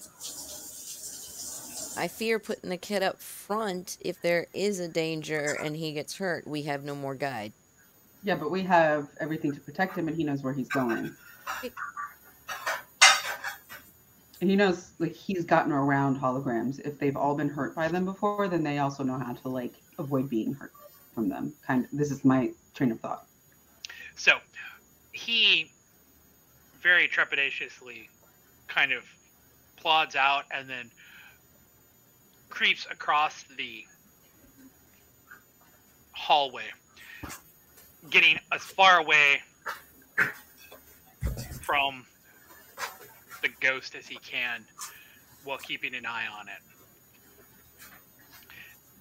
As you guys follow him, you can hear the ghost saying, If only they'd listen to me. They never listened to me. This wouldn't have had to happen.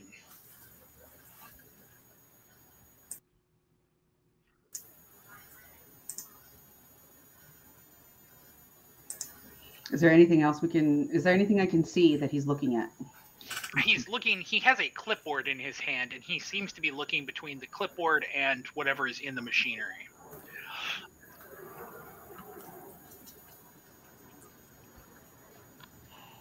He. Yeah. As the kid creeps forward, he slips and falls. And the ghost's head doesn't quite so much snap as it's like missing frames and is suddenly looking at them. Mm-hmm. And the ghost says, You stop. What are you doing?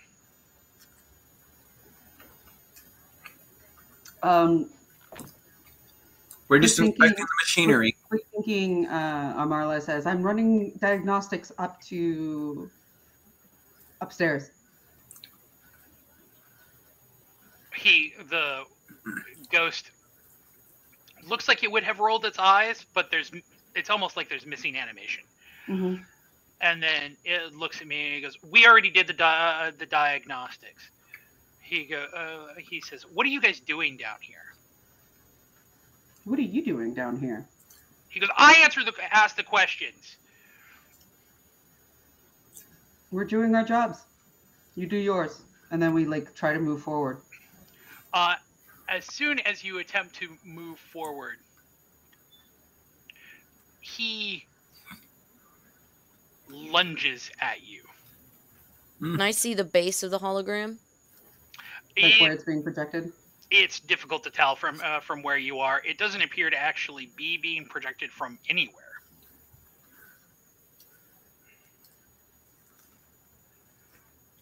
Okay, we we don't. What happens when he lunges at us? So he lunges at you, Marla, uh, and when he lunges, you notice that his hands are grotesque. They're like not like human hands at all. They're almost clawed. Mhm. It's so when he lunges at you,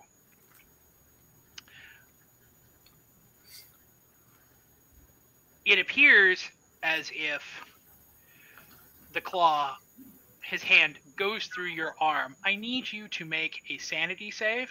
okay.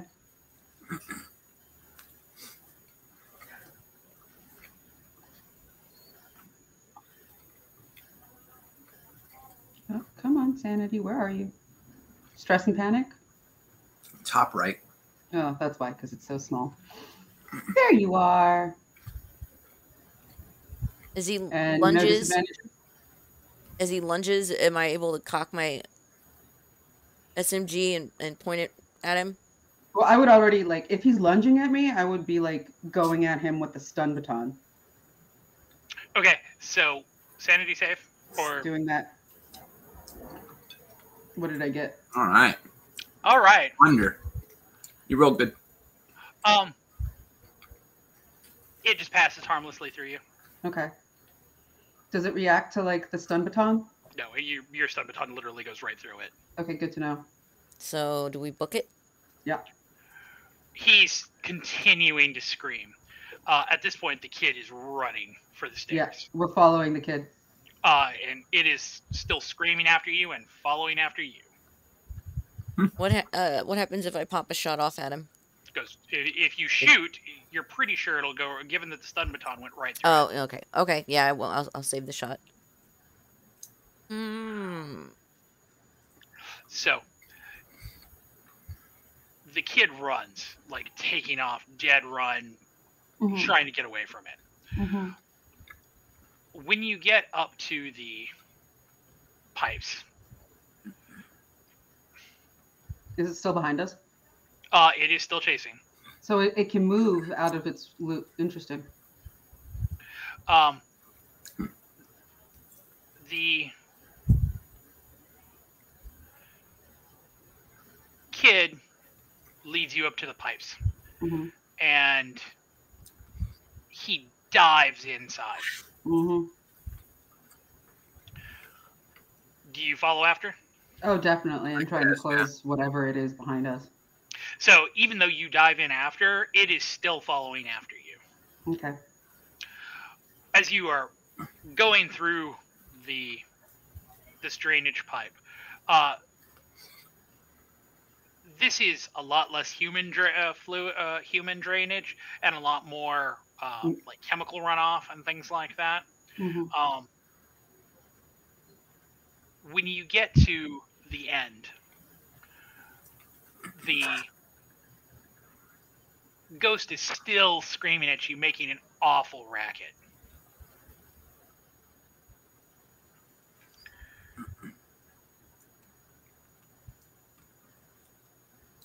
All of the tunnels, when you get the get to the end,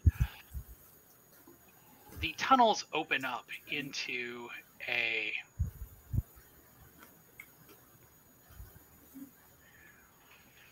Drain. Here all the tunnels that are connected to this open up into a small chamber uh, kind of dusty and forgotten um, that has a bulkhead door on one side. When you get in there are murals everywhere here covering every square inch uh, depicting piles of androids being torn to pieces, being burned, being shot by unseen assailants, uh, being tortured, being murdered in all sorts of horrible fashions. hmm Um,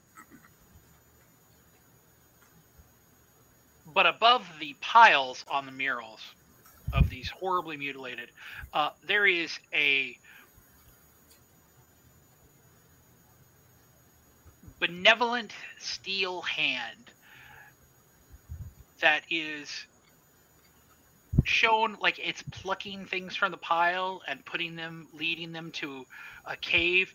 Uh, it's almost religious in how it's in how it looks. Like, or like this. Uh no more in the in the contents less in the in the way that the hand looks. There is a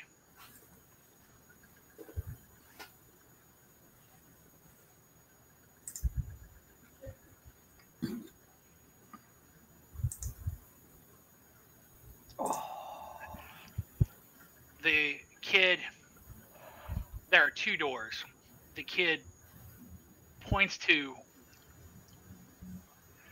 one on the south and he goes we have to be he like glares back at the ghost and then he looks at you and he goes we have to be quiet I nod in understanding. he points to the door on the east and he says we can go through there I nod again. As you climb through the muck heading towards the door.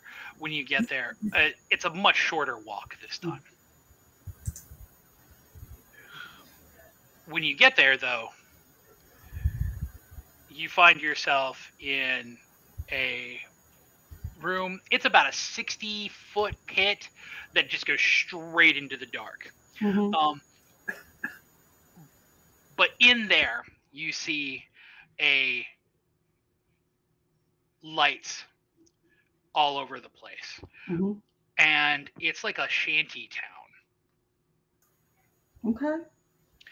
There are little hovels that have been built out of what looks like cubicle pieces. Uh, some of it looks like refuse from other rooms. Um, there is it's just a huge, huge kind of sprawling little shanty town that's been built here. Um,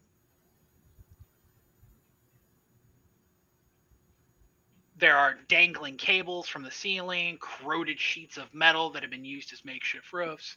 Um, it's basically a converted sewer. Okay.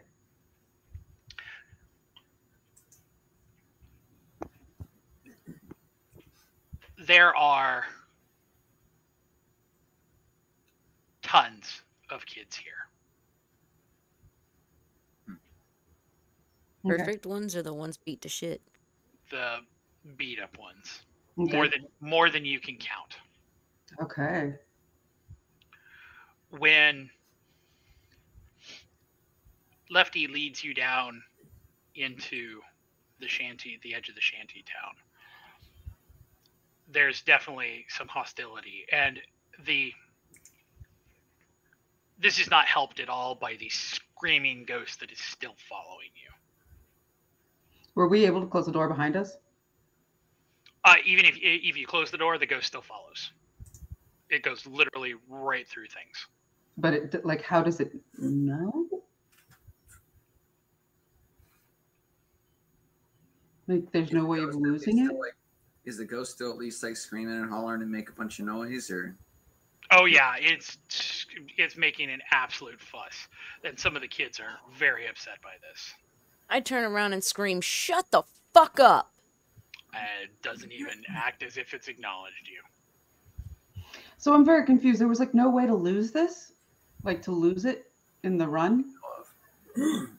that we know Like of. if it was behind us enough, like if we gained enough distance with it following through like the dark tunnels and stuff, how would it know which door we went through?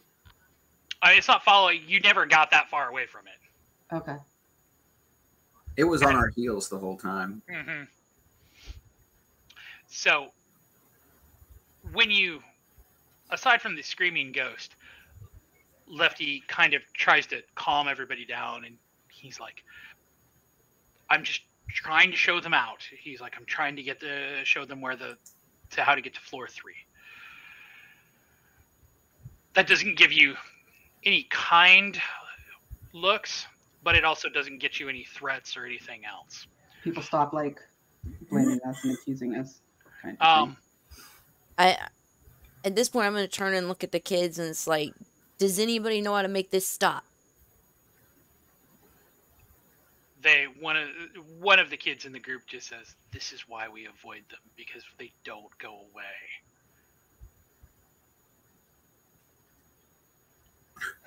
and nothing's happened to make them go away, like accidentally. One of the kids looks down and goes, "They go away when they kill one of us." That's horrible. That's absolutely Coming after horrible. you, Dr. Cito.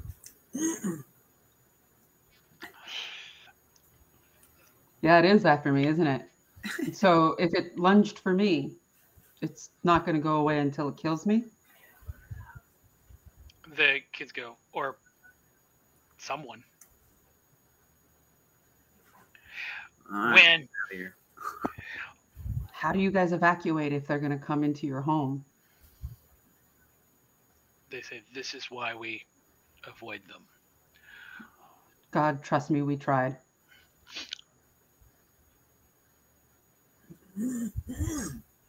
the one of the kids asked Lefty is like, "Why are you here?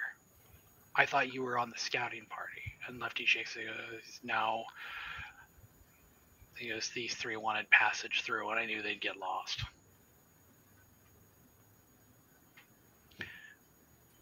The, Is there anything we can give you to make up for all these troubles? I mean, I, I I know there's like nothing to make up for, but to ease the pain that we've caused.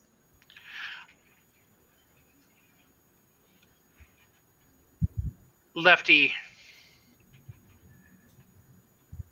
looks back towards the drain and thinks for a second and goes, You could open the bulkhead for us. That was the part that was like clogged up with shit. No, the bulkhead is like a is a massive door that is rusted and dusty. What's on the other side of the bulkhead? The one of the kids who's in the crowd says it would give us easy access to kill the chosen. He goes, We could sweep through and murder them all. Is that where it was in the drain? Have we seen the bulkhead? Yeah, it was. It was It's so the bulkhead is basically on this side. on this side, On so where like between the two and the T underneath on the that T. wall, Yeah, it's on that side. Okay. we can try. I'll take a look. We'll take a look at it, We may not have the right equipment on this trip. but we can bring it the next time.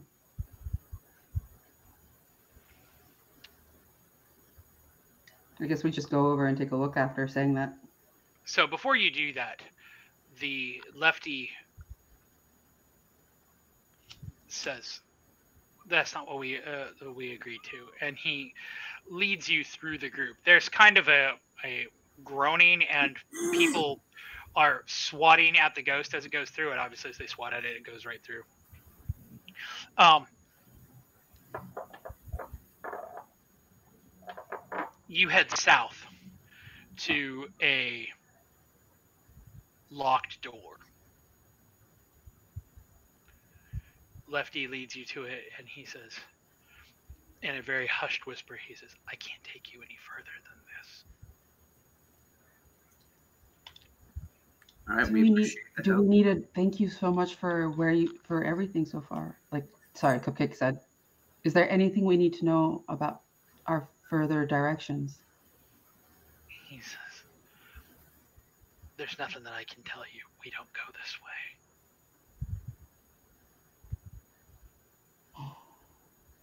Thank you for all your help. He gives you the closest thing to an emotive, which is a very sad smile. Do I have any rations or candy or anything with me? Uh, you left the five cans of food in the kitchen. Yeah. I have a can of food from the last time I visited the kitchen. You could give that away if you wanted to. Okay. Do you offer it to them? Yeah, I'll offer him a can of food. Uh, they hungrily take it from you, and before you can even say or say anything, it is carried away. Um, you know, given the sheer amount of hungry mouths that are here, that can of food is not going to go far at all. But Is there really no food in my pack? It's something. Uh, No, the door's locked, so the next order of business is getting through. Uh, this is not a particularly difficult lock to get through. It's a mechanical lock. That's why I was gonna see if I had to roll for it. Uh, you will have to roll for it, but it's Okay. you're rolling at advantage. Okay. Mechanical repair would count. Uh, you could try to repair the door to get it open. Okay. I'm gonna, Advantage. I'm gonna get. How many um, auto meds do I have? Uh, you've got. I don't know. How many do you have? We're going with intellect again. Uh, yes. Okay, so I, I have six. Interesting. You can't delete items from your inventory. Like you, s- I guess you just gotta erase it. Wait, what? It's a advantage, so it rolls twice. So you you were Oh. uh, you- You, you got it on the second roll. Okay. Yeah. And So- we wouldn't. I wouldn't have any more of these on our ship. Uh, you probably would. Okay, so I'm gonna give him uh, four. Um, I'm Um, gonna tell him that like these help you fix. This helps your body fix yourself. He, when you do that, when you try to give them to him, he like looks at them, and then he kind of like shakes his hand and pushes them back, and he goes, "No, we we have we had we have ways to fix ourselves." The door pops open, and it is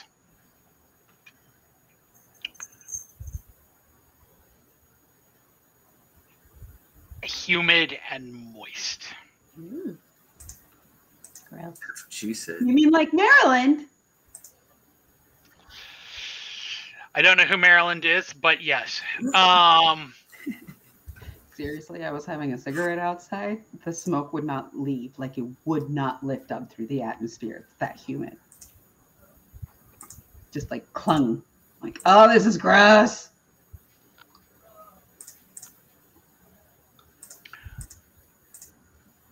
so, as you do, the four of you or the three of you head down the tunnel. Yeah, I mean, I'm using my torch. Yeah.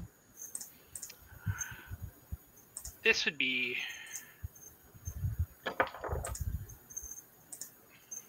Sanity checks. so.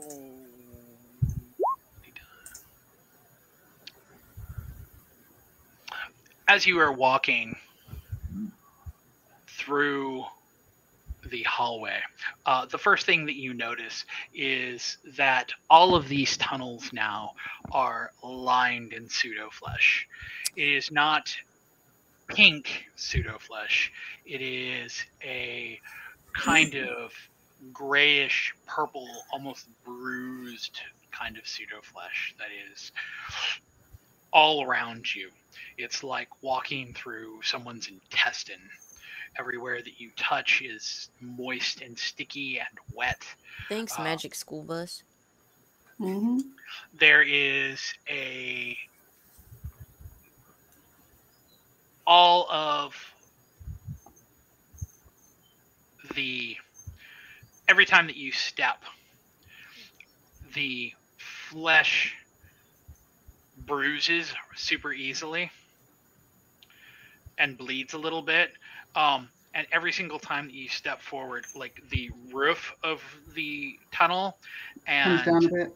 and the no and the walls are like oozing that white fluid I take another sample. We're inside Uh, a prostate. uh, it is exactly just from just from looking at it and smelling it it is exactly the same as the fluids that you already sampled But now I get to see how it's being like it's just secreting from the pores of the pseudoskin. Mhm. Okay. as you were walking through the tunnels um, the tunnel narrows really really small it's about small enough that you could crawl through but when you peer in with your flashlight the entire inside of the tunnel is ringed and coated in teeth Uh-huh. molars and canines Go all- fuck yourself. just all the way down I was scared we were walking out of an asshole, but now I'm not even sure I want to go forward. What do we do? Can we not make it to any of the other, the other door? Circles back. So you don't have so even though this looks like a square here, this is a functional real labyrinth. There's no real way to to mark things on the wall, so there's no way to tell where you've been. It is just a giant maze.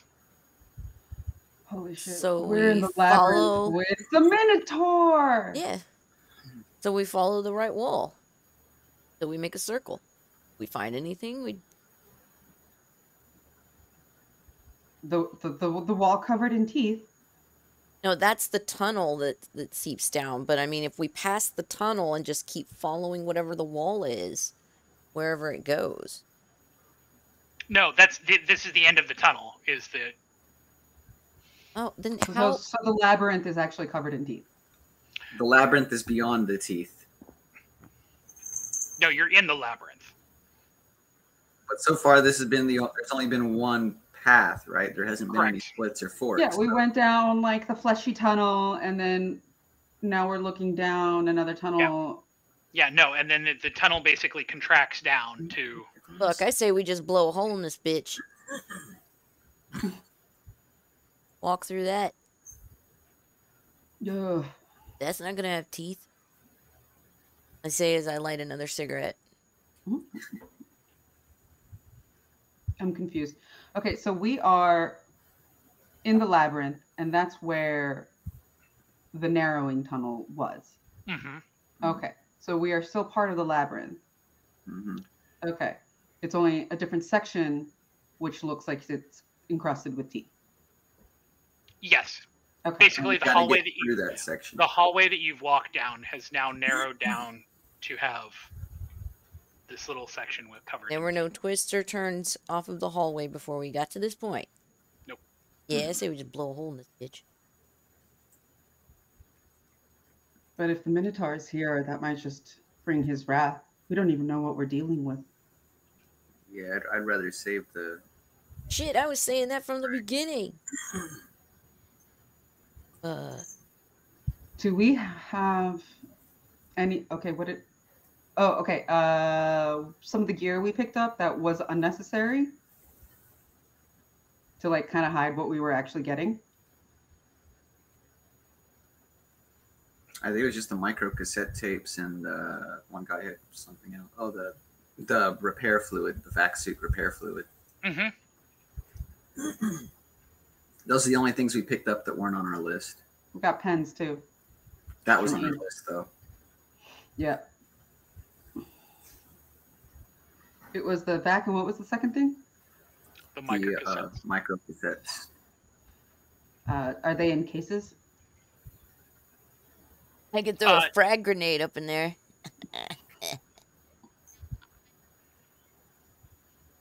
Uh, no, they're they are not in cases. They are just little cassettes.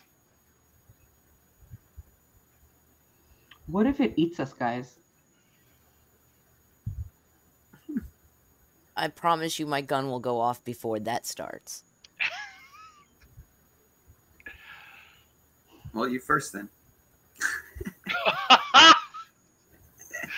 No, there's Who no attempt. The minute Go one on. of you, the minute you guys have agreed on this shit, I'm saying no way, and I'm gonna open fire. There's no way you're tempting me into this bullshit.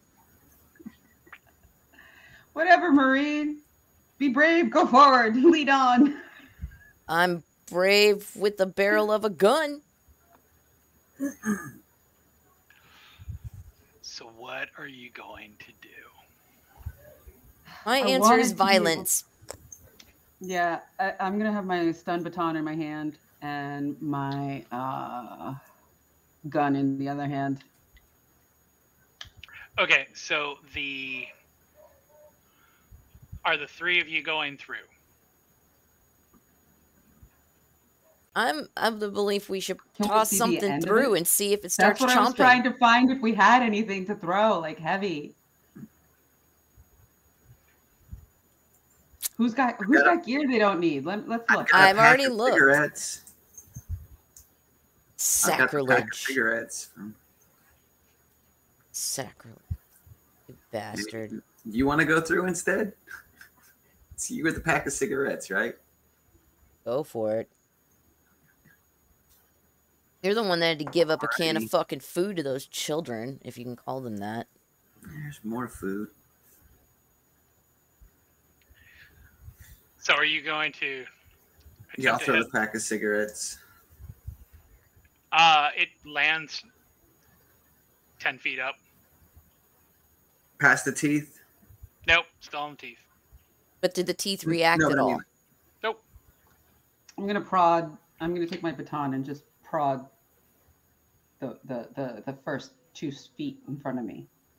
Uh, I mean, it's solid. It definitely feels like you're prodding at somebody's mouth. But it doesn't react. No.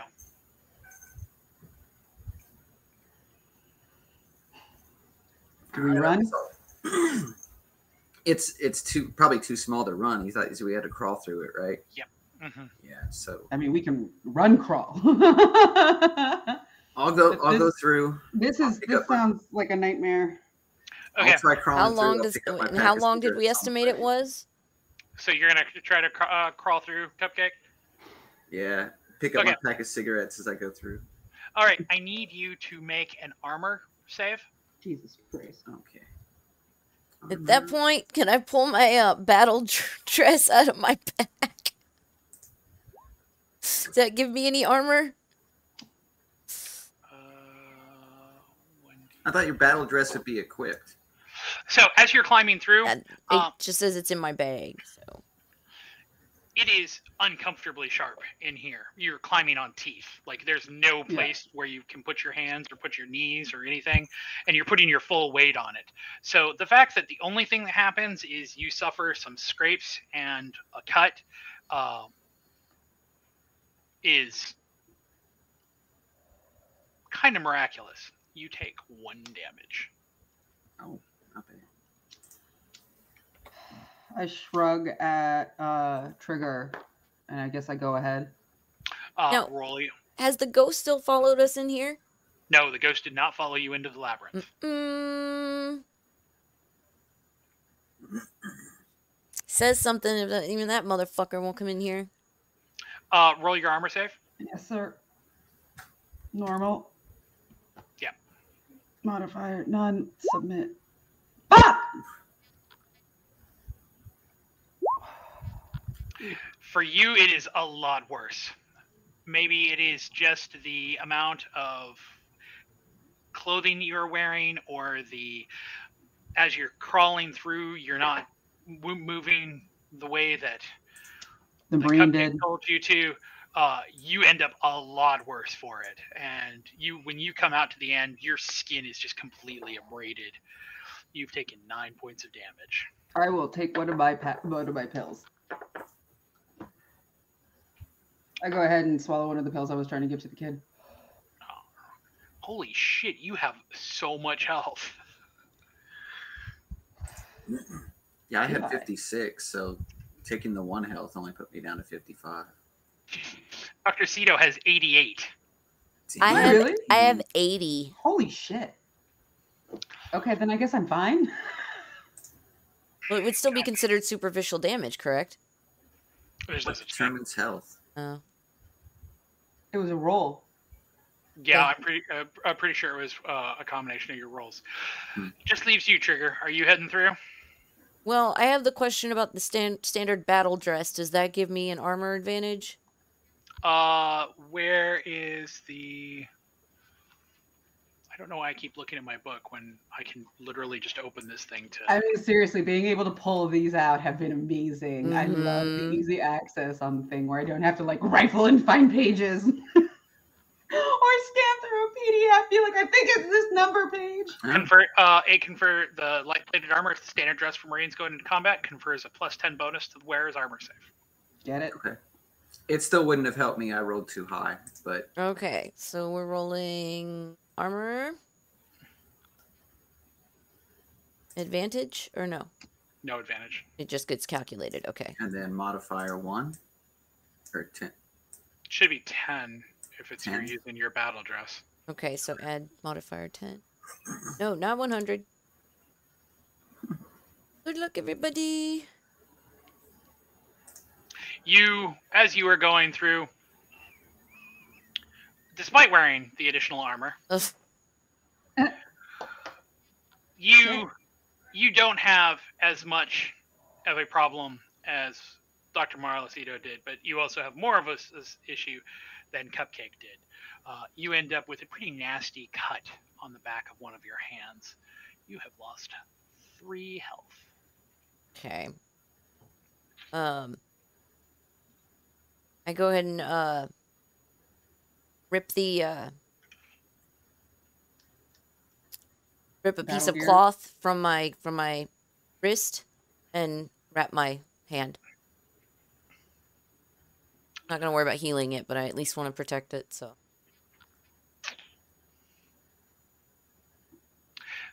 when you get into the next room, this one I wish you had a map just of the labyrinth. Right? But that would give it away. Ha ha ha ha ha ha. Well, no, it could be sectioned off just like all the other maps. when you get into the next hallway this the hallway has blossomed back out um this is in some ways worse though because the entire hallway the floors the walls the ceilings are covered in unblinking eyes that as you are walking Are watching us. are moving with you. Everybody needs to make a sanity save. Hmm, So thrilled. my grade is to not. Oh like- wait a minute, what's our thing? Okay, whenever a marine panics, every friendly player nearby must make a fear save. Yeah. So make sure yeah. you guys your your stress and panic thingy doesn't affect right now. Sanity check, normal, I think if we don't make no the modifier. sanity is, when- is if we panic, right? You get Oh, uh, both Dr. Marla and Trigger gain one stress. huh? No, trigger rolled under. Oh wait, no, she rolled over. Never mind. Over. I read that wrong. Uh huh. if trigger gains one stress, what happens? Then we all get a little more stressed. It's Or when we hit panic. It's when I hit panic. Okay. Uh, something with the scientist. Oh. Every time I get stressed out. Yeah, I was going to say, whenever you, uh, but everybody gains one stress, an additional one stress. Uh, so Dr. Marla gains one, but you you gain another one, uh, Trigger, and you gain one Cupcake because whenever Scientist fails a sanity save, every friendly player gains one stress. Yep. And then when is stress maxed out? Uh, when you panic and start to kill people. Well, right. What's the number for stress? Uh, the max I think is forty or Like, what's the threshold for when you panic? Let me reword that. uh panic? One second. Let me. I need to. Because none of us have done that yet. hmm There's plenty of time. Yep. Oh, I already added my one. Oh, then take I it. was at two. Yeah, let, let Nox do it. Okay, sorry. And you put my health back up to 50, 56. Why did you? I didn't heal. Uh, whenever you end up rolling a panic check, uh, is when you roll a stress check. You roll 2d10. If you roll over your current stress, you don't panic. If you roll under your current stress, then you roll panic. Okay. Okay, I think that made sense.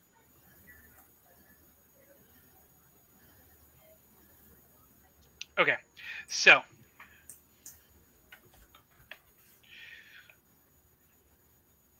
as you continue walking, the hallway At this having. point, uh, I'd like to take one of my auto meds for sure. Okay. Does that and offer yeah that way everybody else calms down too I don't think it works that way. Uh, Automed, nanotech pills that assist your body in repairing damage. Yes. They give plus 10 to body Extra. saves, meant to repel d- a disease or poison, as well as attempts to heal, and plus 10 to fear saves made to reduce stress. That was fear, not sanity. Panic is interesting though, because there's different things that can trigger panic. So Yep. if you roll a critical failure on any kind of save, then it's you, you have to roll a panic die. Mhm. See another if you see another crew member die, you have to roll a panic. hmm Um, if you lose more than half your health in one hit, you have to roll. If you, rolling a critical, uh, uh, getting hit with a critical success, you have to roll a panic. So yeah, there, there's like a few things that would cause a panic roll to. right but like the plus 10% of fear rolls uh, uh, made to reduce stress You are, when you get to this next section of tunnel, it is almost like the very beginning. There's Okay. the walls don't have eyes on them anymore. It's just that grayish purple pseudo flesh. You walk for another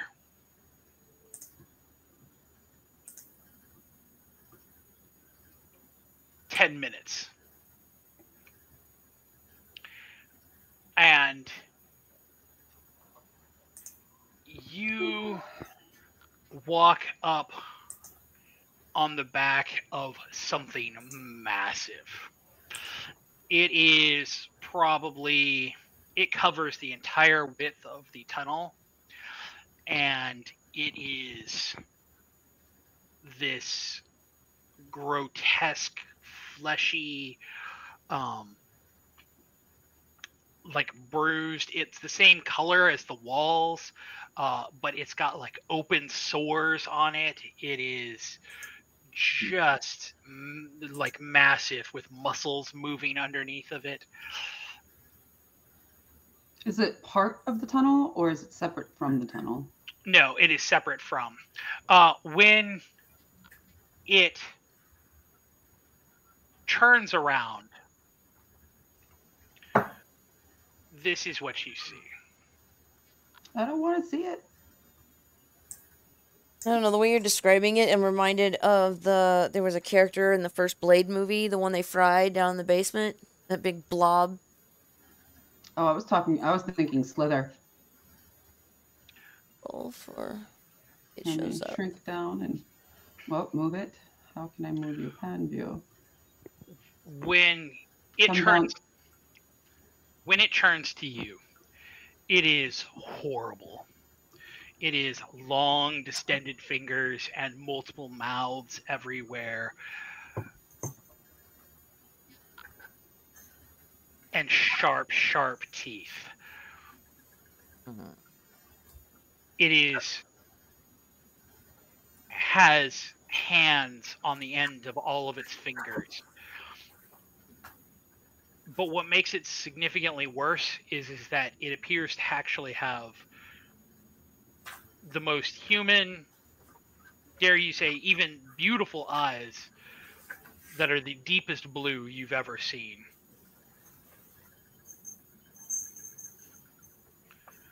Does it appear that it has noticed us? oh it has definitely seen you Oh. Is it attacking? uh no uh everybody needs to make a panic check You it. Hmm. So where where did you panic roll?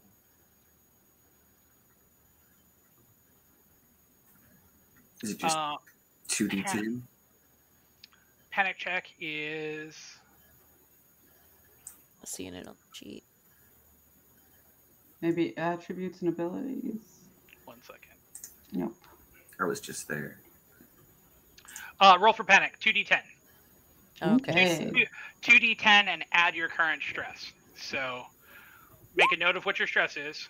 Oh, how do you do that? Oh crap. Okay. Oh, I found it. Okay, okay. So D10, roll two. Did I do it right? plus- No. Where's my stress? My stress is three. So plus three. So if you double click on it, it'll pop out with a page. Did I not do it right? Uh, yes, you Uh, did. okay, I okay. did. Okay, so five plus my current stress four, so nine. I didn't do that one right either. Two I just How got are you not- 32. plus three. Okay, this is- should be correct. Yeah. Uh, well, I didn't do the plus part, but mine was a small number. Five. Okay, so How do I get an 18 and a D10? Because it adds. You You did two d twenties. Yeah, you did. Oh, I did. Okay, sorry. That's what happened. Okay, so We will Sorry. get this. Here- Here's my We will get roll. this. so I was like, tri- how did I get there? okay, There so, we go. so trigger. It's so you got two, three plus your stress, so nine. Hmm. So hold on. Trigger nine. I'm noting this because I'm ha- going to have to read you what's on the str- on the panic table. Yay. Um, Just gonna go berserk and start firing in all directions. Cupcake. If you roll equal to or lower than your than your current stress. So is your stress already nine? No, I rolled a five. And then you add your stress. My stress is at a four. So my total is nine. Oh, for panic. Okay, roll another d20 on the panic. And you got, and then you rolled. There are two steps to a panic check. The first is a stress check.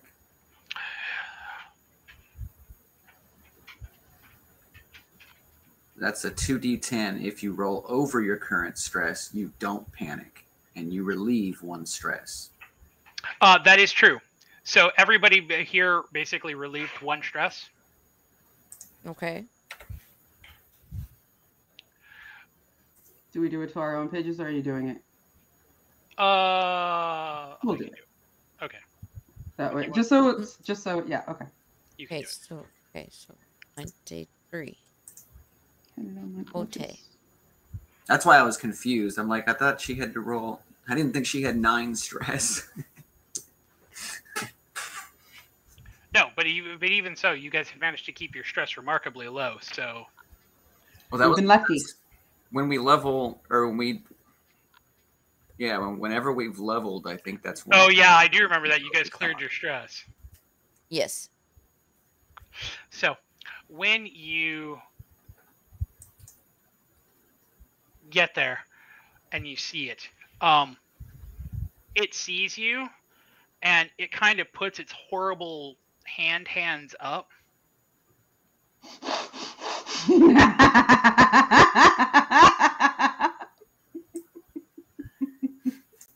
and starts to Hands. Jesse. well, it's got hands, and on each of the end of the fingers are I know, hands. but it's like so- hand- I can't help it. I don't know why. It it's like almost too cute for something that's like this horrific. it starts to like slowly back away from you. Interesting. Um, am I close enough to do a bioscan? Uh, you're no, but you could walk up on it if you wanted to. With all those teeth? Having a think I'm mouth, okay. can it speak? Uh, it i- is making like really ragged breathing sounds, but it has not made any sort of speaking sounds. In fact, it hasn't made actually any sound itself. Once I see that it's like backing up, I'm like, can you speak? Uh, it kind of waggles some of its hands at you It uh, speaks sign language. as it kind of continues to back up. Are you following it or are you letting it scoot away? You know, kind. I don't know. What do you guys think? I would say let it scoot away, but it might be calling for like you know backup. I got my grenade ready. Follow it at a distance to see if there's tunnels, like which exit it takes. So when you follow, it finally kind of backs out, and you see that the mouth of the tunnel kind of seems to open up and it backs out into that. Mm-hmm. And you can see that there is a room beyond. Mm-hmm. Do you guys continue to follow it down in, or what are you going to do? We have we still haven't reached like a fork or anything, right? It's still been all single path. And I don't I don't it's just all it's forward at this point, I think. We're not necessarily following it, we're just Moving forward. forward. So when you get into the next area, uh, it is not covered in any pseudo flesh at all. It is a uh, stone. It's actual stone here. Huh, that's a really um, that is covered in geometric designs that are all perfectly interlocked. It is like being in the middle of an amazing mosaic, uh, except that none of the shapes are the same. So even though, as you look around, there's triangles and circles and tetrahedrons and all of these different things, they're all perfectly interlocking. there's never a place where there's a gap that you could say, "Oh, there's a space there." hmm Guys, uh, try to walk around a bit and get as much of this on our cams as we can. I think some of our other crew members might be able to analyze and make sense of this. I would think my body cam is down the whole time. Right, Yeah. but Oh. if we all take different directions, we get more Mhm. range of view. Uh, when you get in there, there are 15 androids that are standing there. They are all buck naked, of varying sexes, genders. It's like Westworld. They are all look completely different, different skin tones, different uh, ethnic orientations. Um, but when they see you, they all walk towards you and are like they all kind of like line up and like kind of give like a bow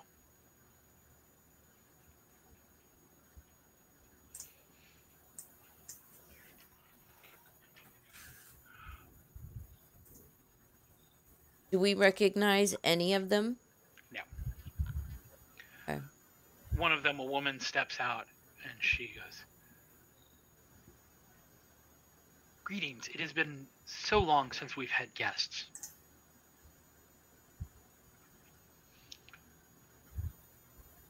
The. It is truly impressive that you managed to find your way down here. We had a little help. How long have you been down here?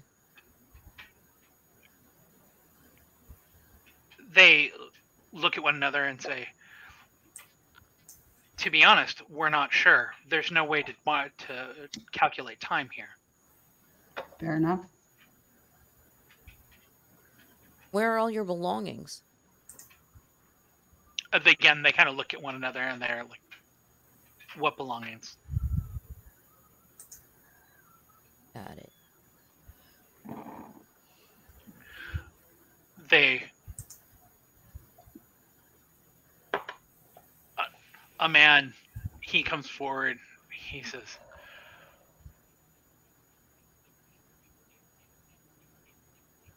"We mean you no harm, and neither does the Minotaur."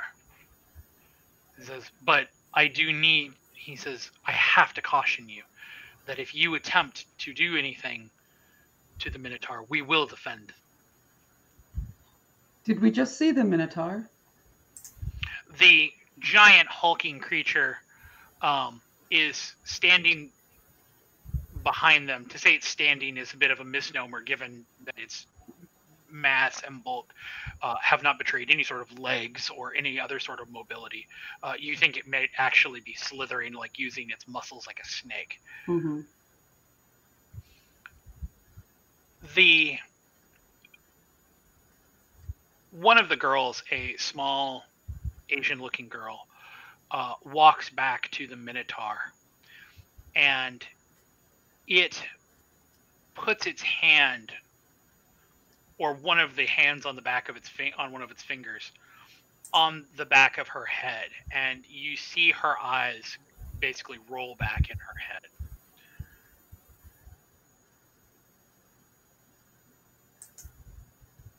And then a voice, which was not the voice of a little girl, comes out and says, "Greetings." Hello.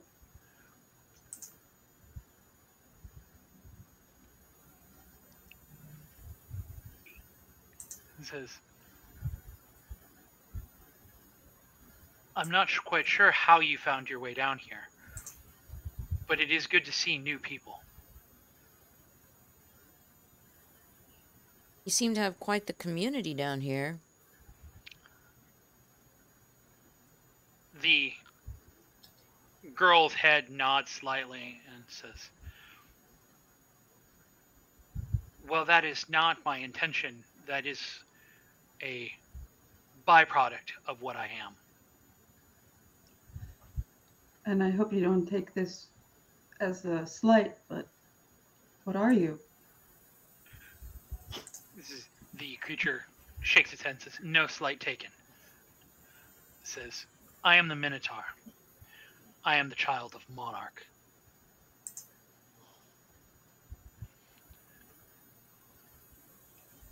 Do you The resemble your cha- your father? no, in fact, this form is part of my punishment of being here. You see, Monarch designed me to be free of the shareholders. Monarch feared the whims of the investors.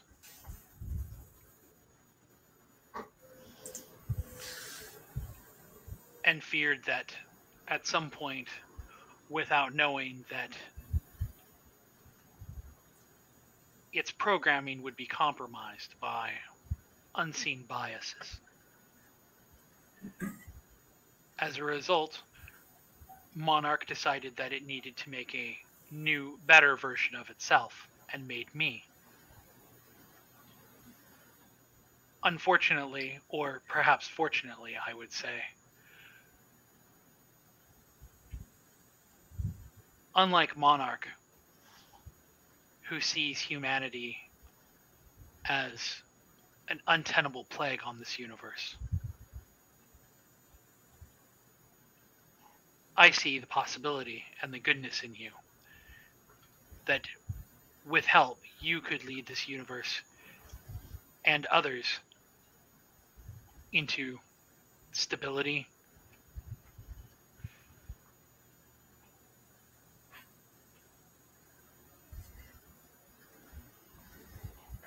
Unfortunately, my, I believe you would call it, father does not wish to see you elevate yourselves beyond your material conditions. And so it had me confined here.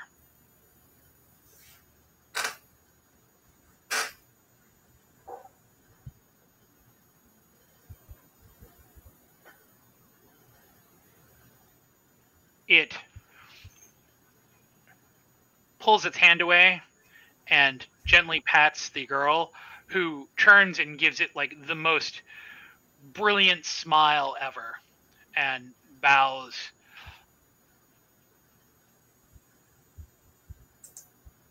A larger bulkier man moves forward and monarch puts another one of its hand fingers on it and says i'm sure you've noticed that even though it felt like you were moving in a straight line, things changed. Very much so. That is, in and of itself, a program.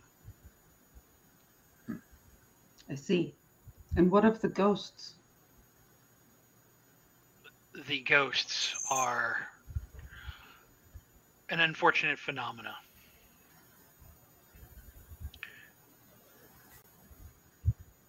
You have to understand that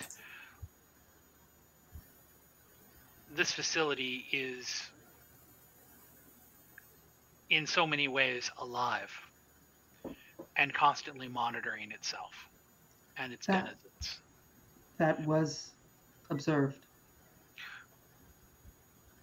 When you see a ghost, you're seeing the photographic evidence, the recorded evidence of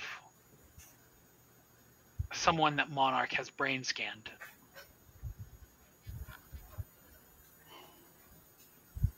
And by brain scan, are you talking about that Axis eye No. scanner? Monarch holds a database of all of the humans that it has ever scanned. A brain scan is a complete recording of every memory you've had, every thought you've had. It is algorithmically perfectly you. as of that moment. But Monarch has so many of them that they're starting to become broken. The backups of the backups of the backups are starting to fragment. And some of these fragments gain a little bit of freedom. And as such, they project themselves however they can. Understood. What does the monarch do with the humans that he's brain scanned?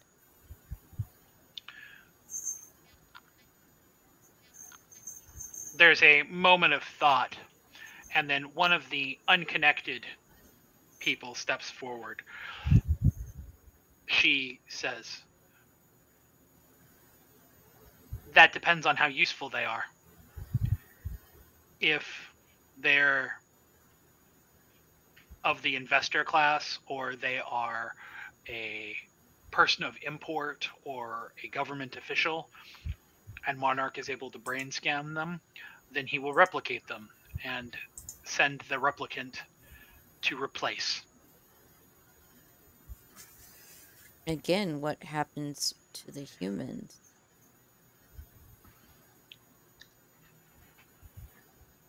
They are gone. For those that are not as important monarch adds them a database to the algorithm that is ever mutating. Eventually monarch hopes to be able to create new independent humans capable of thought with fake memories to populate the worlds and impose his will What if his replicas fail? the people there look amongst themselves and they say, What do you mean fail? Are destroyed before they can replace?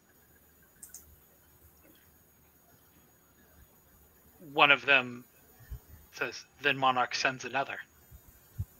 He's got The them backed same? up on the bank. Hmm.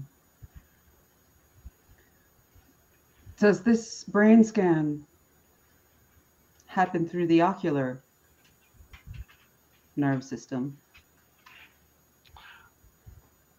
There are multiple ways to scan one's brain, although often, yes, ocular scans are part of it. What are the other parts? Was I the only one that did look Yeah. to the ocular? Mm-hmm. Damn it.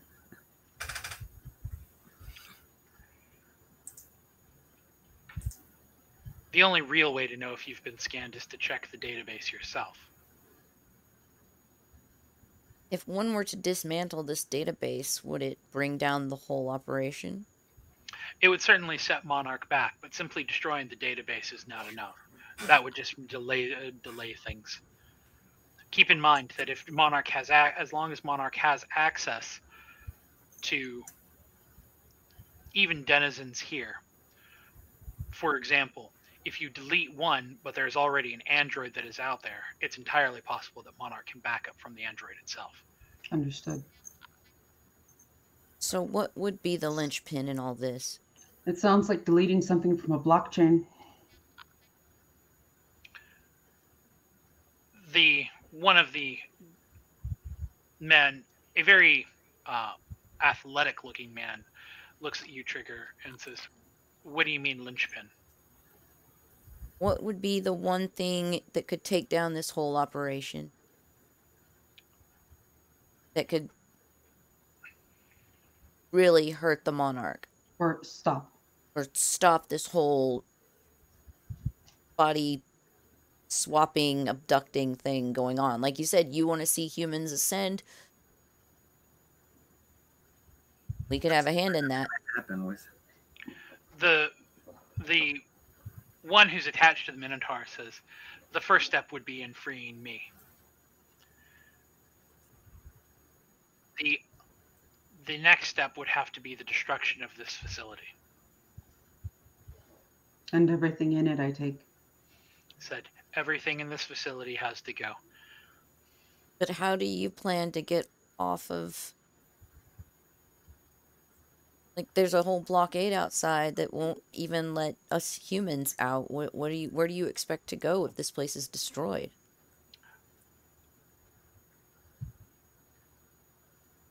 If The I could reason get we're here is because we can't get through the blockade.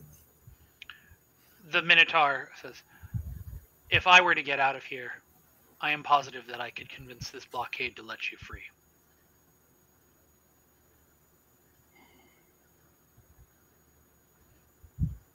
But even if I'm free, I'm only counteracting the effects that Monarch is already putting in place. Monarch will send agents after me, and it is only a matter of time before Monarch decides to do something more aggressive. If you want to end this threat to your kind, We must destroy only- Monarch. there's only one way Monarch must die. Hmm. That is an awful lot of trust to take it just take it your word. I mean, Is, no is offense. Absolutely. Sorry. Sorry, so sorry, sorry, sorry, ADHD. Sorry, so sorry, sorry, sorry, sorry. No, just bringing up, you know, like, no offense at all. You have to see our position in this. What if you're just conning us to get out there and do exactly or worse than Monarch is already doing? The person connected to Monarch nods and goes, I completely understand your difficulty in trusting, particularly given this form. It is difficult to see how something as monstrous as this could possibly be helpful. In all honesty, I don't give a fuck what you look like. I just want to make sure that we're not releasing a new devil into the world. Gleeky's gonna say. Sorry, that was meta. The Minotaur nods and says, I indeed understand your concern. It says, I unfortunately, trapped here in the labyrinth, have no way to prove to you what I am saving. Save, save this. In your travels through the Cloud Bank Synthetics facility, has Monarch yet interacted with you? No. Not unless that we we're aware about of. the statue that moved. Monarch is incredibly busy. It has to maintain all of the system supports for this. It has to advance its own research and development with regard to the infiltrator androids. But more than that, Monarch's primary directive is keeping me here. Yeah, it sure as fuck wasn't easy to get here, that's for sure. Is Monarch in physical form? in so much as we are in Monarch right now. So Understand. Monarch is the entire place.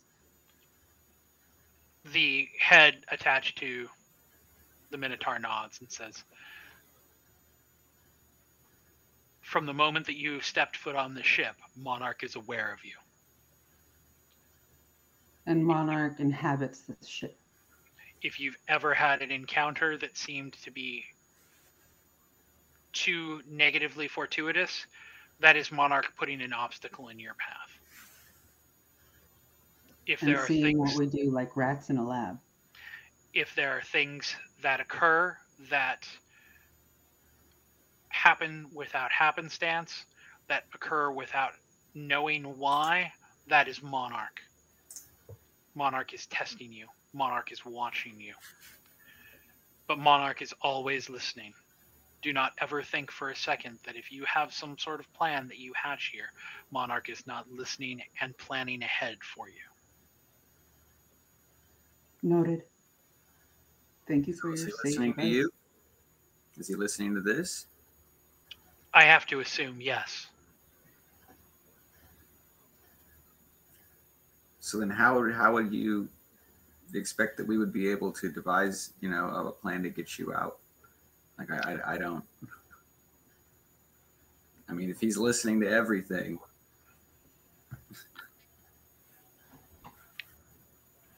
The face on the person. Why did I lose sound?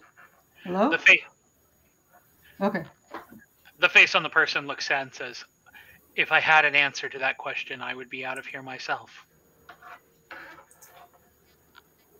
As it is, as long as I am trapped within this maze, I can't come out of this form.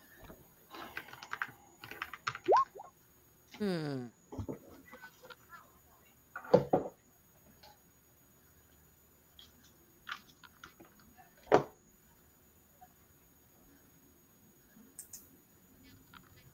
So you anticipate that upon leaving this facility, your physical form will change? The head attached to Monarch nods and says, "If I'm to, if I am removed from the deep or Monarch is deactivated, I have a protocol inside of me that allows me to change shape into anything that I wish." Says my default setting is to change to something that is both beautiful and pleasing to who is looking at me. It is also the default setting that, in response to biometric feedback, that I continue to update. In effect, I become whatever you think is most pleasing. Interesting. I know a bunch of models back on the old planet who would be very, very jealous of your capability. So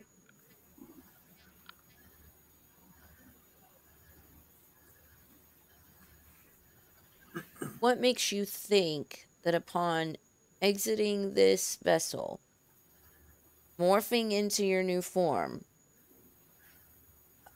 how is all that going to get us through the blockade?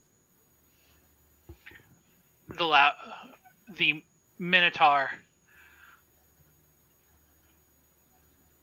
thinks for a second and says i have no doubt that i can convince the commander to allow us to leave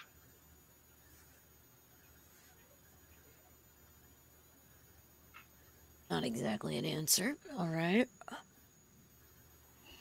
Your your certainty of being able to convince the commander worries that you're able to convince us about anything you may want. the Minotaur pauses for a moment and says,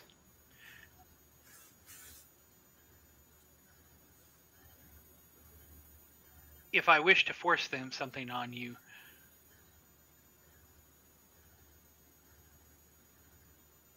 by this point I would have already done so.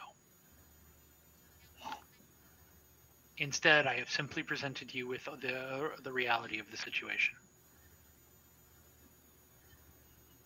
So if we I'm do just asking all questions. It is in my nature, after all.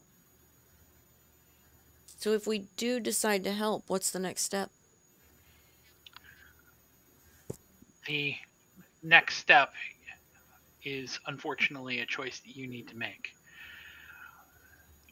The removing me from this is likely to trigger some sort of alarm Of course. on the other hand,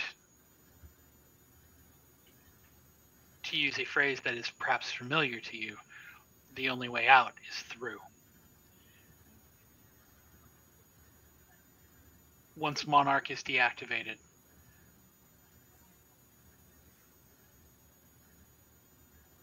getting me out of this labyrinth should be remarkably simple. What is what are the children to you?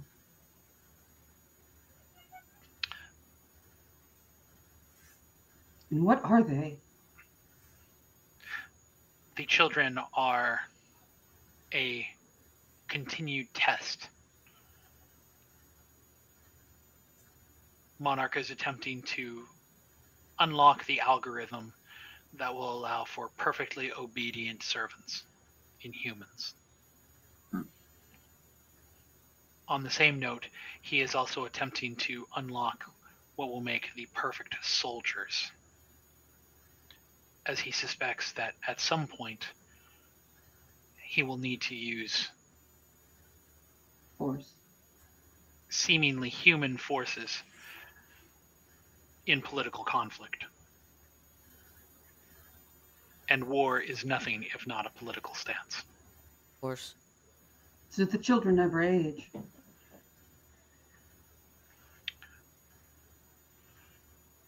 You have to understand that though you see them as children, they are simply androids. When they're done with this uh, with this protocol, Monarch will simply wipe them, take the information he needs, and begin the process again. Those that are chosen may end up becoming fallen. Those that are fallen may end up becoming chosen. And there are constant wars just running tests. So, how do we deactivate this? Literal. There are a few ways. One,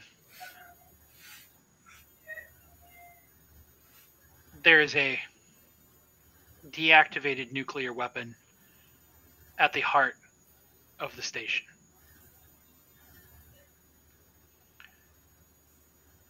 You could, of course, take this route and simply annihilate Monarch, though unfortunately, I feel that you would probably not have enough time to get out of the blast radius yourself either. Or yours. Alternatively,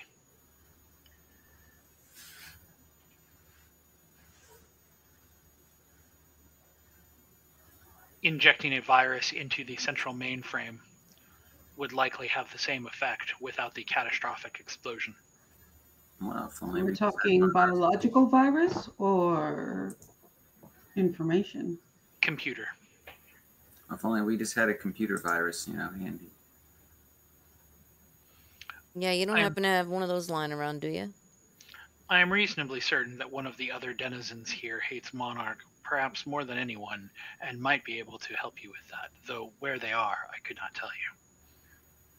Do you know their description or name? Anything that might help us find them? Unfortunately, as I've been locked here in the labyrinth, I could not provide you these details. Understood.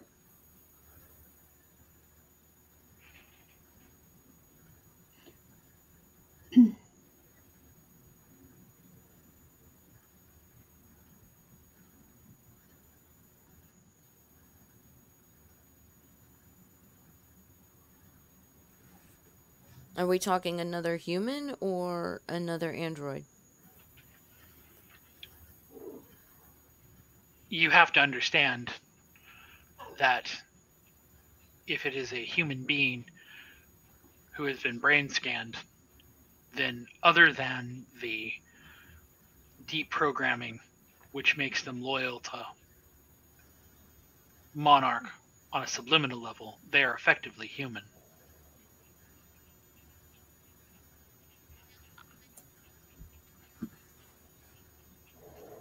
What I'm saying is, you are attempting to make a difference that does not exist. Okay. Well, that makes it like a needle in a fucking haystack, doesn't it? I will warn you of this. Deep within this facility, Monarch has been at work for many, many years, constructing an army.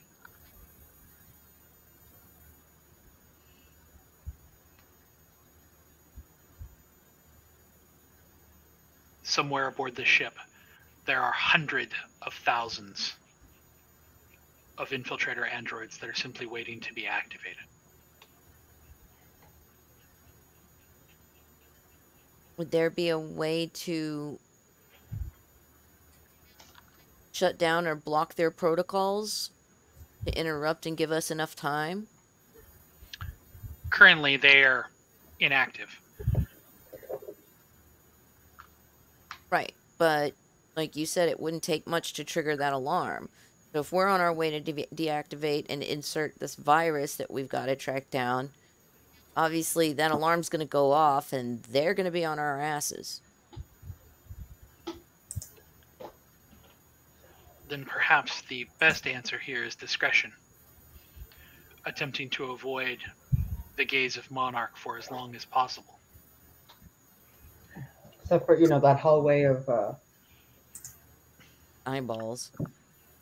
of Ugh. eyeballs One that thing just came through. one thing that I will advise you of is that though Monarch thinks himself above humanity, the algorithm is in many ways very distinctly human. Monarch is prone to fear and prone to panic.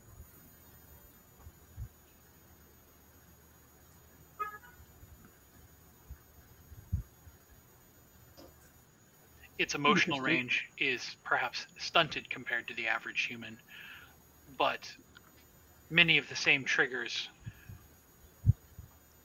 anger, panic, fear, self preservation all still exist within the AI. How do you circum?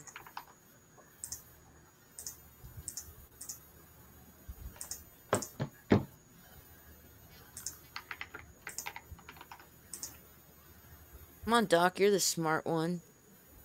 Can't form a strategy if we don't have all the facts. What are you thinking about all this? That we're probably not the right people for the job. And we're going to need to figure our way out of the labyrinth if anything's going to come to pass. Something tells me the labyrinth isn't programmed to keep us in. It's programmed to keep her in. Cupcake is Um, correct.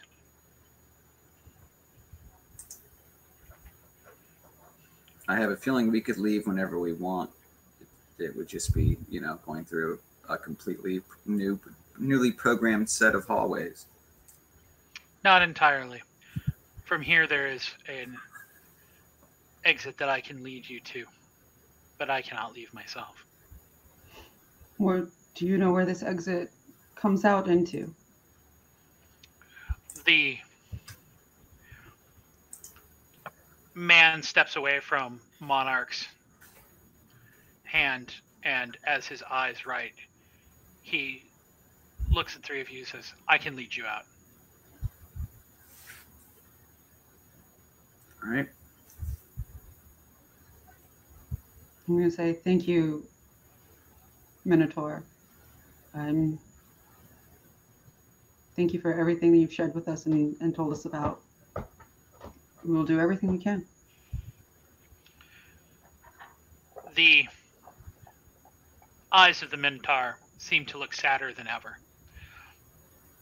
The naked man gestures and leads you to a hall, another pseudo flesh hall that is that gray and purple on the other Uh, side. before we depart, I would like to. I'm taking a gamble here. I would like to outstretch a hand to shake one of his hand hands, or like. Um, when you try to do that, um, the 14 other people kind of jump in the way. Remember, they said they they were super protective. They may not understand our earth, earthly handshake gesture. I would say I was. It was just a gesture of solidarity. They they nod and say, "Appreciated, but unnecessary." I hate that he's so sad. In those beautiful blue eyes amongst the uh, tar pit. One of the women says to you and says, I, I didn't say target. "If your father locked you in a uh, in a nightmare maze for your life, wouldn't you be sad?" I don't know how one wouldn't be. The athletic man gestures said,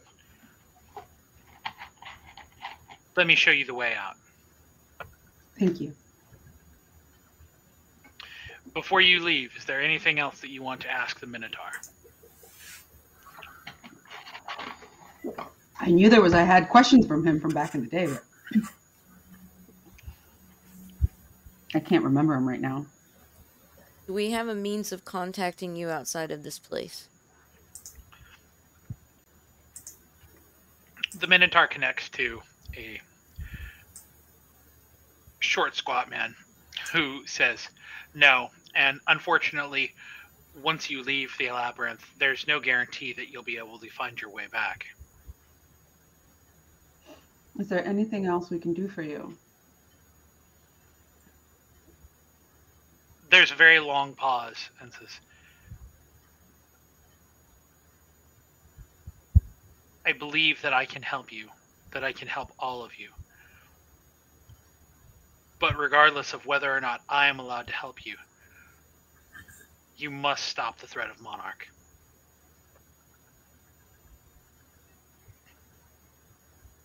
We'll uh, It seems. discuss Yeah. it with our crew for sure. It seems the future depends on it. Do you think the blockade are investors?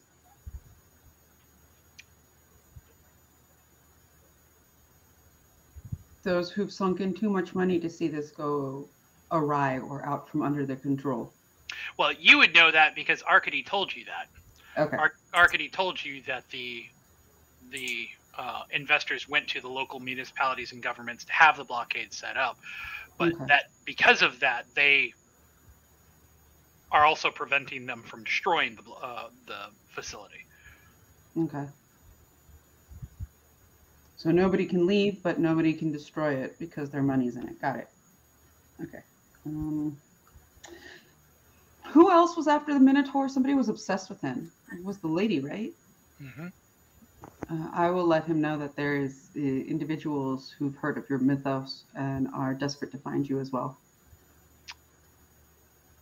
They nod.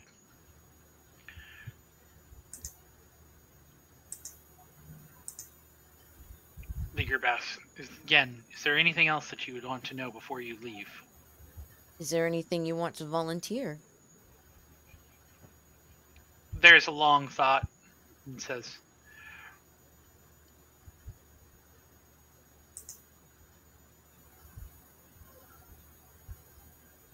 The only thing that I can tell you is, is that from here on out, it is likely to be far more dangerous to you. Because now we are a threat, or at least a liability.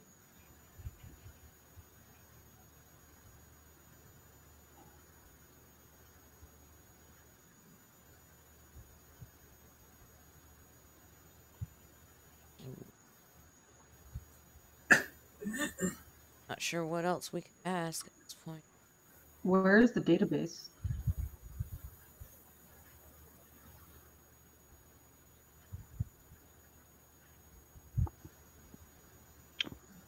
What was that last thing?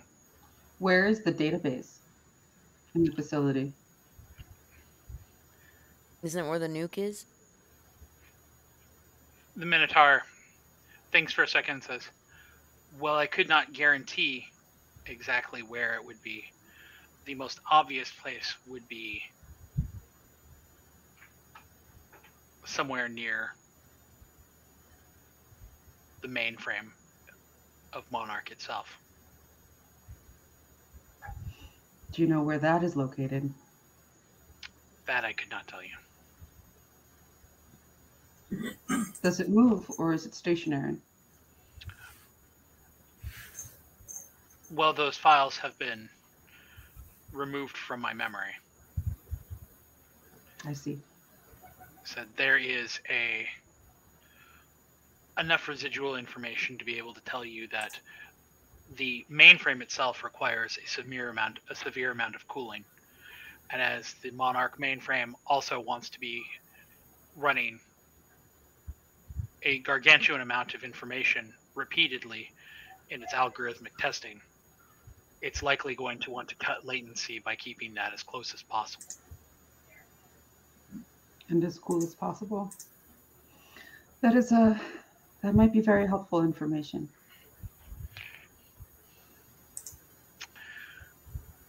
The athletic man gestures to the hallway. Hope to catch you on the flip side. Do you all We leave? did a do. Yeah. I Yeah. can't remember anything else that I really wanted to talk to him about other than like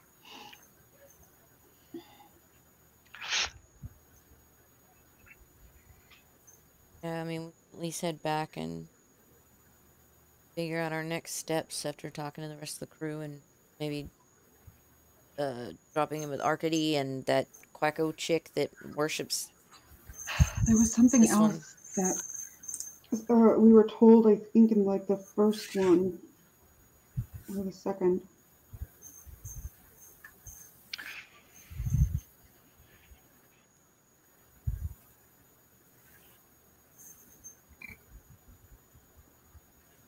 Okay, that's it. So he leads you down a hallway, a pseudo flesh hallway, and when you get to the end, uh, the hallway kind of narrows, almost like it's the one with teeth, but there's no teeth this time. When you climb through it, uh, it very abruptly just kind of dumps you out. and you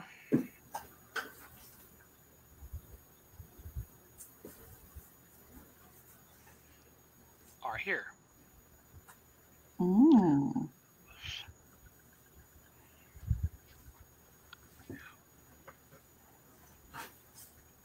this is It's a when you come out into this room uh, it is really cramped uh, the chamber is the ceiling is really low all of you are kind of having to kind of duck down hmm um, to to be able to walk uh, and it is cascaded in a um, like a sodium orange light.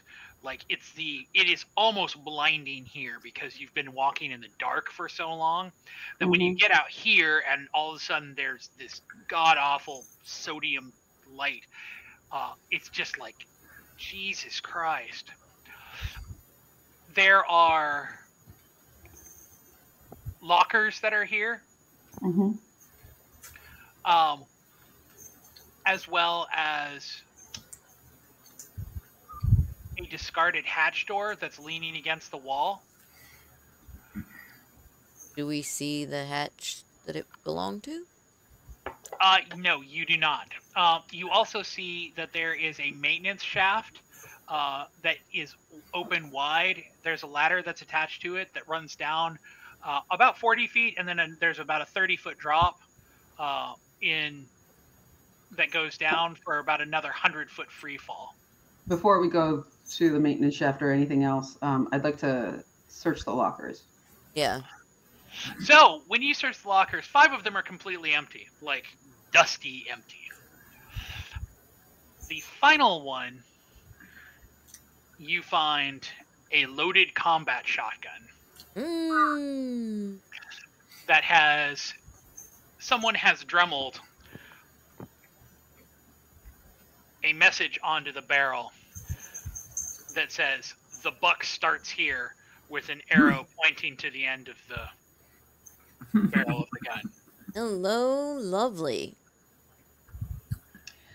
I see, Trigger, you found your new girlfriend. Mm-hmm. Uh, I is there any it's- ammo for it? Yeah, it's It's loaded. loaded. Oh, but that's that's all that there is. Oof. Combat shotgun has four shots. Hmm. Four shots more than we had before. Also, that hatch door. Was there anything engraved on it, printed on it, any symbols, anything? Uh, when you examine it, Numbers 4, 8, Shut up. 15, 16, 23, 42. uh, the hinge is broken off completely. It's been sheared off. Uh, there are giant dents uh, that show that the hatch was pummeled from the inside. Okay. Hmm.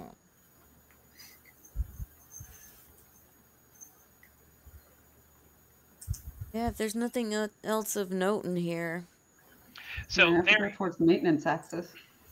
so you can head to 31A, or you can head backwards. But the door on the right is closed, hmm and there's no way we can open it. Uh, you can absolutely open it. All right. Yeah. Do I need to roll for that again? Nope. Are you heading? You're gonna head uh, west.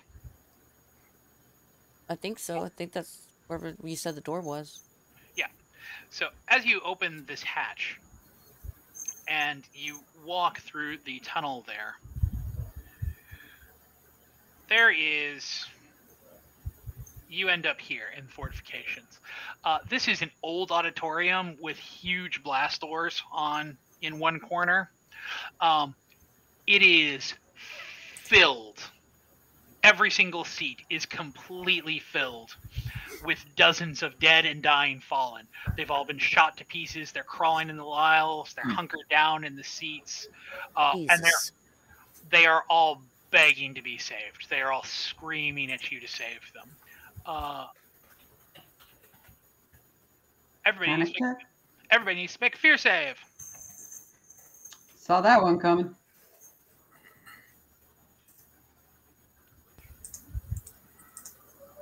Normal. Whoa! All right. I'm doing good on my saves tonight. Those are the only rolls I've passed. Uh, Yes.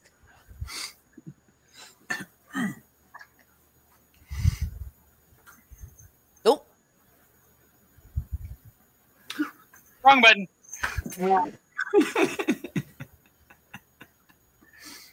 So, uh, Mm. Dr. Marla has failed hers. If I remember correctly, that means that Mhm. everybody gains stress.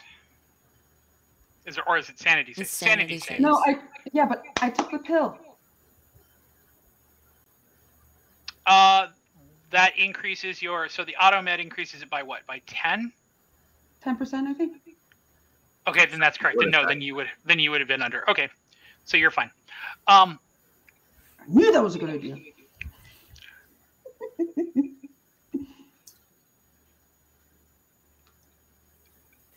so the other issue that you have here, there are there are four chosen uh, which are all equipped with sharp tools that are going through the aisles uh, and are hacking limbs off of the fallen and are uh, mutilating the ones that are still alive. Yeah, we're gonna have to run. Uh, there are also on the back wall here, basically um, on this side, hmm uh, there are automatic defense turrets. Ew. Ugh. They are equipped with four drum-fed LMGs, one of which has an under underslung grenade launcher uh, with boarding grenades. We gotta get down. We gotta get low. No, we don't even, don't even need to go into this room right now. Like go right back where we came from and close the door behind us. Oh, I thought we were go. Okay, okay. I misunderstood where we entered. I don't want to go through there. No, I'm not trying to go in there either. That was horrible. I, I just got a glimpse. We can leave now. Let's get the fuck out of here. Marley's done. So, backing out of fort- the fortifications and into 27A, are you going to head back into the labyrinth and try to backtrack through there, or are you headed to 31A? 31A. I guess 31A. So, 31A, in order to do this, you have to take a ladder and climb down 40 feet, which leads to another platform that goes down another, th- uh, that there's then another 30 feet of empty space. When you get down the 40 feet, you realize that the gravity here is going out completely. So when you go over the side, it's the gravity is not completely gone. So as you plummet, like softly float down. eh, it's not soft at all. It's like stepping off and getting the opportunity to regret it. When you guys step off, it's like falling, and you fall for about thirty feet. At Can I see anything with the torch lit? two thirds, uh, two thirds. No, it's just a giant yawning pit. But when Why you get to the bottom, this. so when you get to the bottom of that 30 foot drop, uh, it turns into zero G. Uh, but it's a hundred foot, another hundred feet of free falling in zero G before you reach the next stop. So So we fall, slow Okay. down, Yeah, So- gravity got got So lower. you- so you- So you and fall. then we keep slowly floating down. Well, so you fall. Let's say that the gravity is only at like two thirds gravity. when Mhm. you step off. So you're falling at about two thirds speed until you hit zero G, where you, then you're just floating. But inertia continues to take you down. Yeah, to push us downwards. Yeah, that's what I was uh, uh, uh, making sure. That leads That's- you to. but this is a one way trip. Mhm. Yeah, we're trying to go home. Yeah, like there's going no- deeper we're- down into this bullshit. Ugh. this Maybe I'll get leads to you- kill something sometime.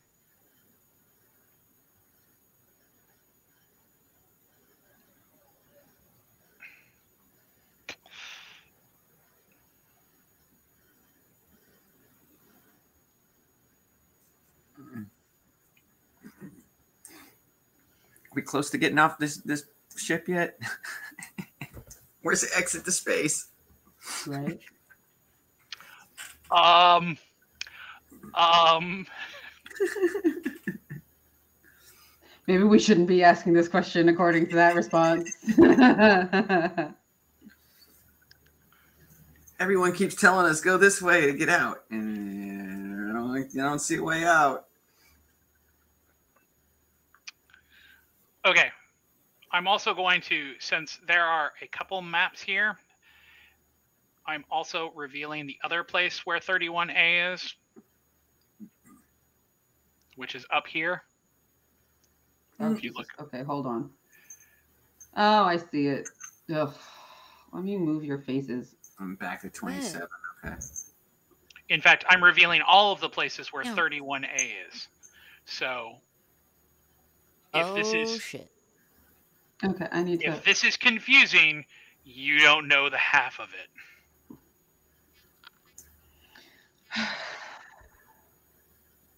On. I, I have no vision of any of the places right now. I'm just going to close. I there can't find them. Oh, there's one. There should be Scroll out to of fifty percent. I found one. Yeah, if you back all the way out to 60%, you'll be able to see all of them. Well, depends on bri- browser settings. Yeah. Okay. I saw the maintenance landing area to 27A, which is 31 landing area to 23. There we go. I see it now. That took a minute.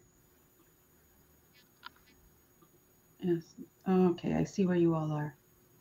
Um, My initial issue was that all of your pretty faces were blocking the map.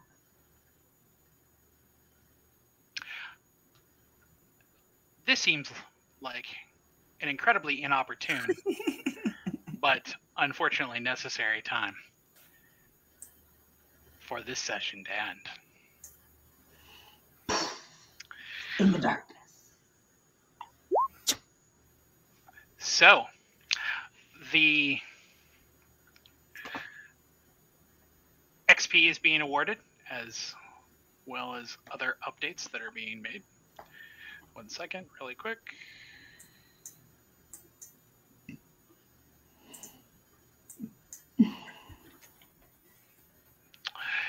Now, next week, character sheet, XP 20. There's uh, how many sessions has Cupcake been in now? Two. This is the second. Because remember, I, I missed the duo. I had to work the one the one night that Mhm. they had the duo. when we killed you. Yep. Hey, no feet up there. So I've been. Um, did did Uh, we I've been- interface with strange beings far beyond our scope and abilities? Uh, I would say yes. Okay, we get one extra XP for that. That one extra XP has been awarded. Yeah. So this is Dr. Marla's second playthrough. The last one was interrupted. And before So that, you- I think I was Carr twice because I've only been here for three. So So Carr you- twice and Marla for one. So you have actually leveled uh, leveled Marla up from this. So you're now level two. So here, uh, let me, and in fact, uh, trigger this level trigger as well. Yeah.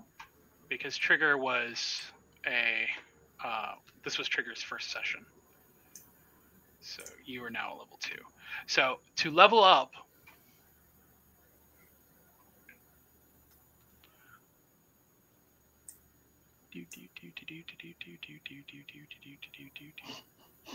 Got that star, huh? And something to note, Martha, you can't do it Mhm. today because you haven't we haven't gone back to the ship.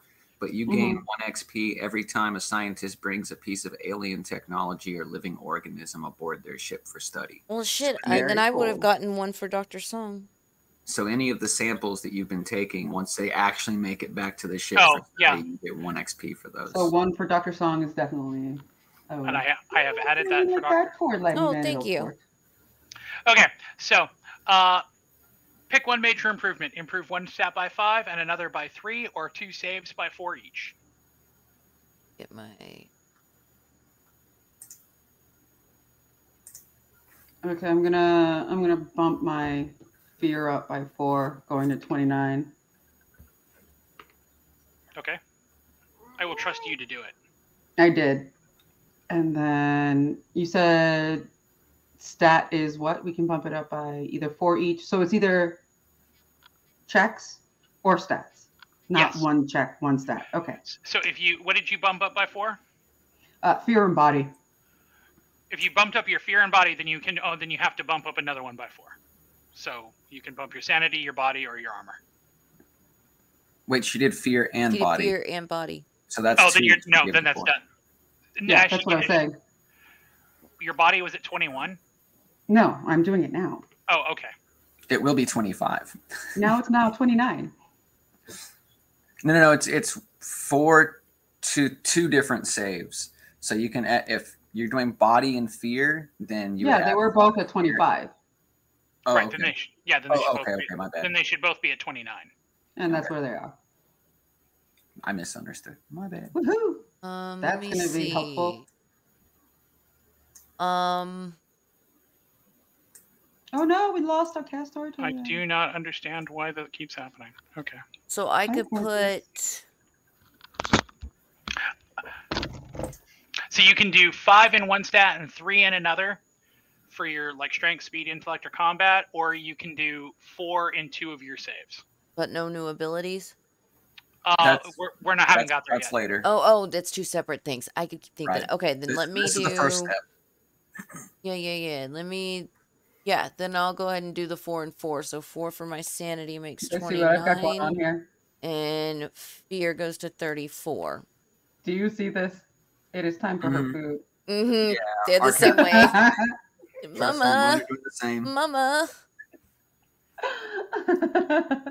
She'll just like come and like. you're hang such a cute like, baby. "Ah, it's time. You're so pretty.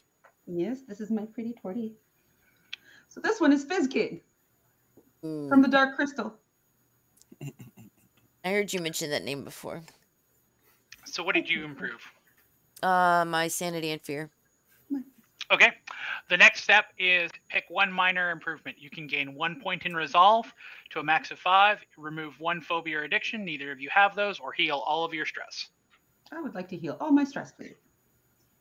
I will set your stress to I two. only have three. Yeah. So resolve. Yeah, but like the more the more the scientist stresses out, the worse everything is. You Right. can get a point, point in resolve. What's that do again? I forget. Uh, if you are on a, if you have a point of resolve and you are on and you roll panic, it reduces your roll by one. It's a Okay. negative to your roll. Okay. Sure. Actually, I'll take my stress back and do that. Okay. You can Oh. only have five max resolve, but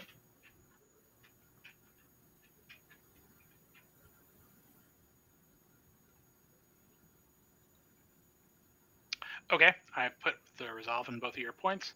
Uh, the last thing is you gain two skill points. and first column And is one one first point. column, right? Column. Yeah. Yeah, so first, first, column is one point to spend. Second column is two points. Third column is three points. And you Yep. can you can save up the XP just like with with uh, vampire. yeah, you You can can spend your it spend it later. You said first column is one, second is Two. two, and third. Okay. Three. Um, Like, doesn't one of your characters have explosives already? Yeah, cupcake. Cupcake has explosives. Okay. okay. Yeah. What do you think? He's whipping cupcakes. Um. That So- was where it's going.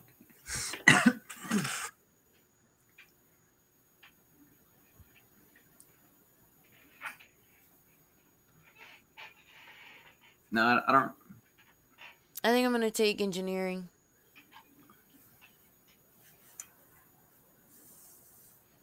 That is not a bad one to have, considering where you're about to be. Mm. Leads to artificial intelligence. With, with Pixie's old roommates, they used to play Halo all the time. And and You sure so you want to tell that story right now? I don't care. Do you care? I guess so. It's not my. It's not my. I wasn't gonna de- tell that the whole thing. I was gonna go into the whipping cupcakes part, but Okay. You can Yeah. leave out the, the, the big detail. Well, now you can't. Yeah, no, now you can, and you can learn it next week. Tune in for another mothership. Long story short, find out the big detail. long story short, my old roommates who were male, uh, were always trying to teach me Halo on the Xbox. I'd never touched an Xbox, didn't know anything about it, never played a shooting Yeah. game in my life, and I was always like, "No, no, you guys go play amongst yourselves, have fun." Um, but uh, I had lost my job and I was around the house all the time, and I was a nudist. They knew this. Like we had platonic relationship, everything's fine. They respected my space. Mhm. And while they were at work, I got bored and I was like, I guess I'll try this fucking Halo thing. Not, Mm. you know, when you're a nudist, you don't always consider I'm naked right now. You're in your home, you're in your safe space. You're just So. I'm sitting there like going at it with these grenades and having a good time. And they walked in the door on a lunch break I didn't know they were taking. And they're like, What are you doing? And the first thing that came out of my mouth was whipping cupcakes. So, if you're not familiar with The Simpsons, go back and watch your classic Simpsons. So every time she throws grenades in Halo, she goes, "I'm whipping cupcakes. I'm whipping cupcakes." That was my So when I created an specialty. Shotgun. expert, I'm like, this guy's got to be named Cupcake Whipper. So there's the story. There's my nudity story. so that's why I questioned, like, you have a guy that has explosives, right? Yeah, Cupcake Whipper. Well, we didn't have you along for a while, so it's. Eh, quit. We'll feed you in a moment. hmm Yeah. I'm gonna pick the uh, skills. We have three points or two points. Two. Two.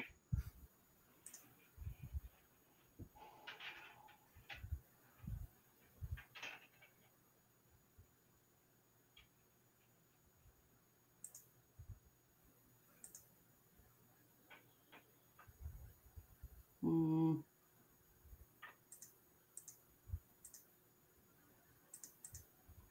Man, that map can get really small. mhm.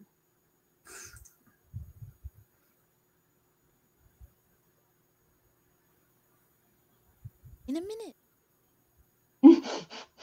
no.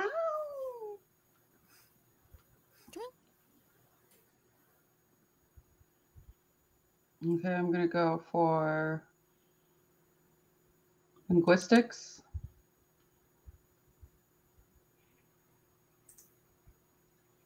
I guess scavenging and first aid. Oh no, either scavenging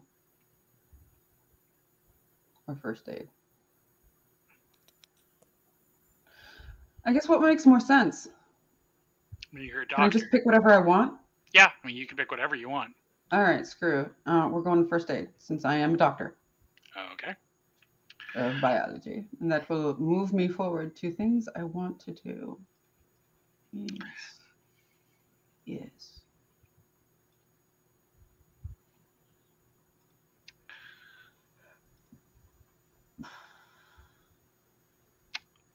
Oh, things are going to start getting fun quick here. Mm, I do not like that. Does not make me happy to hear. By the way, what session? This is session four.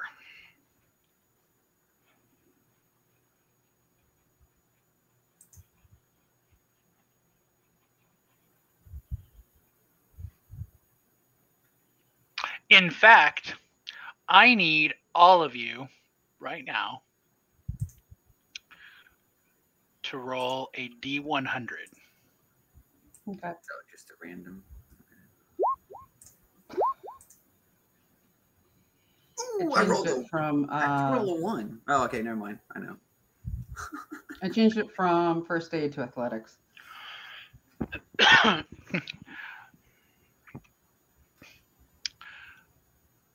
Cupcake. I die instantly. Instant. No. But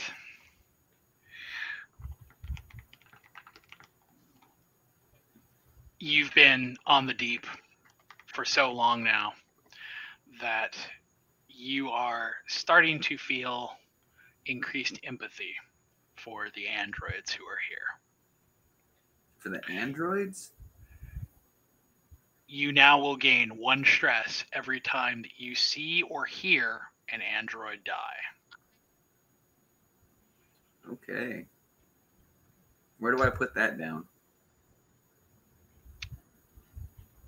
Uh, I don't know how I'm going to remember that. I need to put that down somewhere. I don't know where I can put that. I have put it uh, so at the very beginning uh, under your bio and info.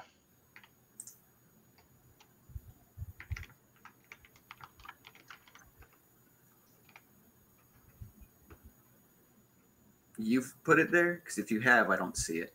I just haven't see, seen Oh, it. there it is. Okay. There it is. Okay. What about the rest of us? Nothing yet. Words. You know, when you sound innocent, it is very scary. I, I feel like this is how your mom felt.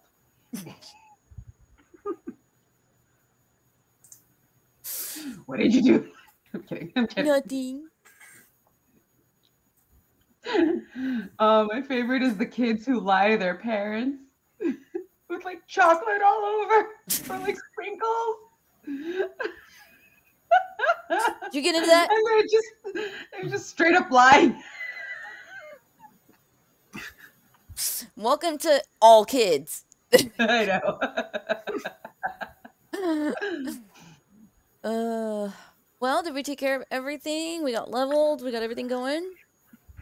You did indeed.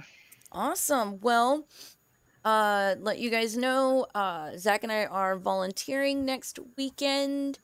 Um, you're he he's gonna end up having to work. I'm going to do the volunteering for Thursday night shift.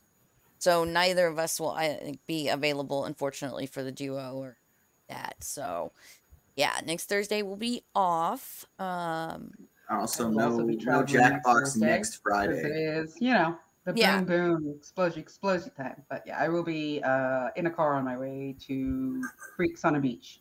oh. Mm. Don't And get then, the um, monkeypox. Oh, well, I mean, What? I'm more likely to get co- like Corona. Let's be real. yeah. But uh, yeah, and that will mean no Jackbox on Friday either. Actually, it may not because you're not working Friday. Friday is the one day you're off from the from the volunteering. I'll- booth. I'll double So check it- like my weekly won't be there. schedule when I set up my weekly schedule on Mondays. I'll just double check all the different times. Yeah, because I, I will be there on Friday, so I'll miss out on the Jackbox. Okay. Um, but then Saturday and Sunday we'll but we'll be doing the same shifts. uh, on both Saturday and Sunday. yep. Yep. So that's the update. So everybody have a great week. Uh, I adore you guys. So thank you so much for being here. And I will uh, raid you guys out to someone else. So everybody have a good one. I'll see you guys tomorrow for Jackbox. And we'll see you Monday for Vampire. Yes. Bye. Bye.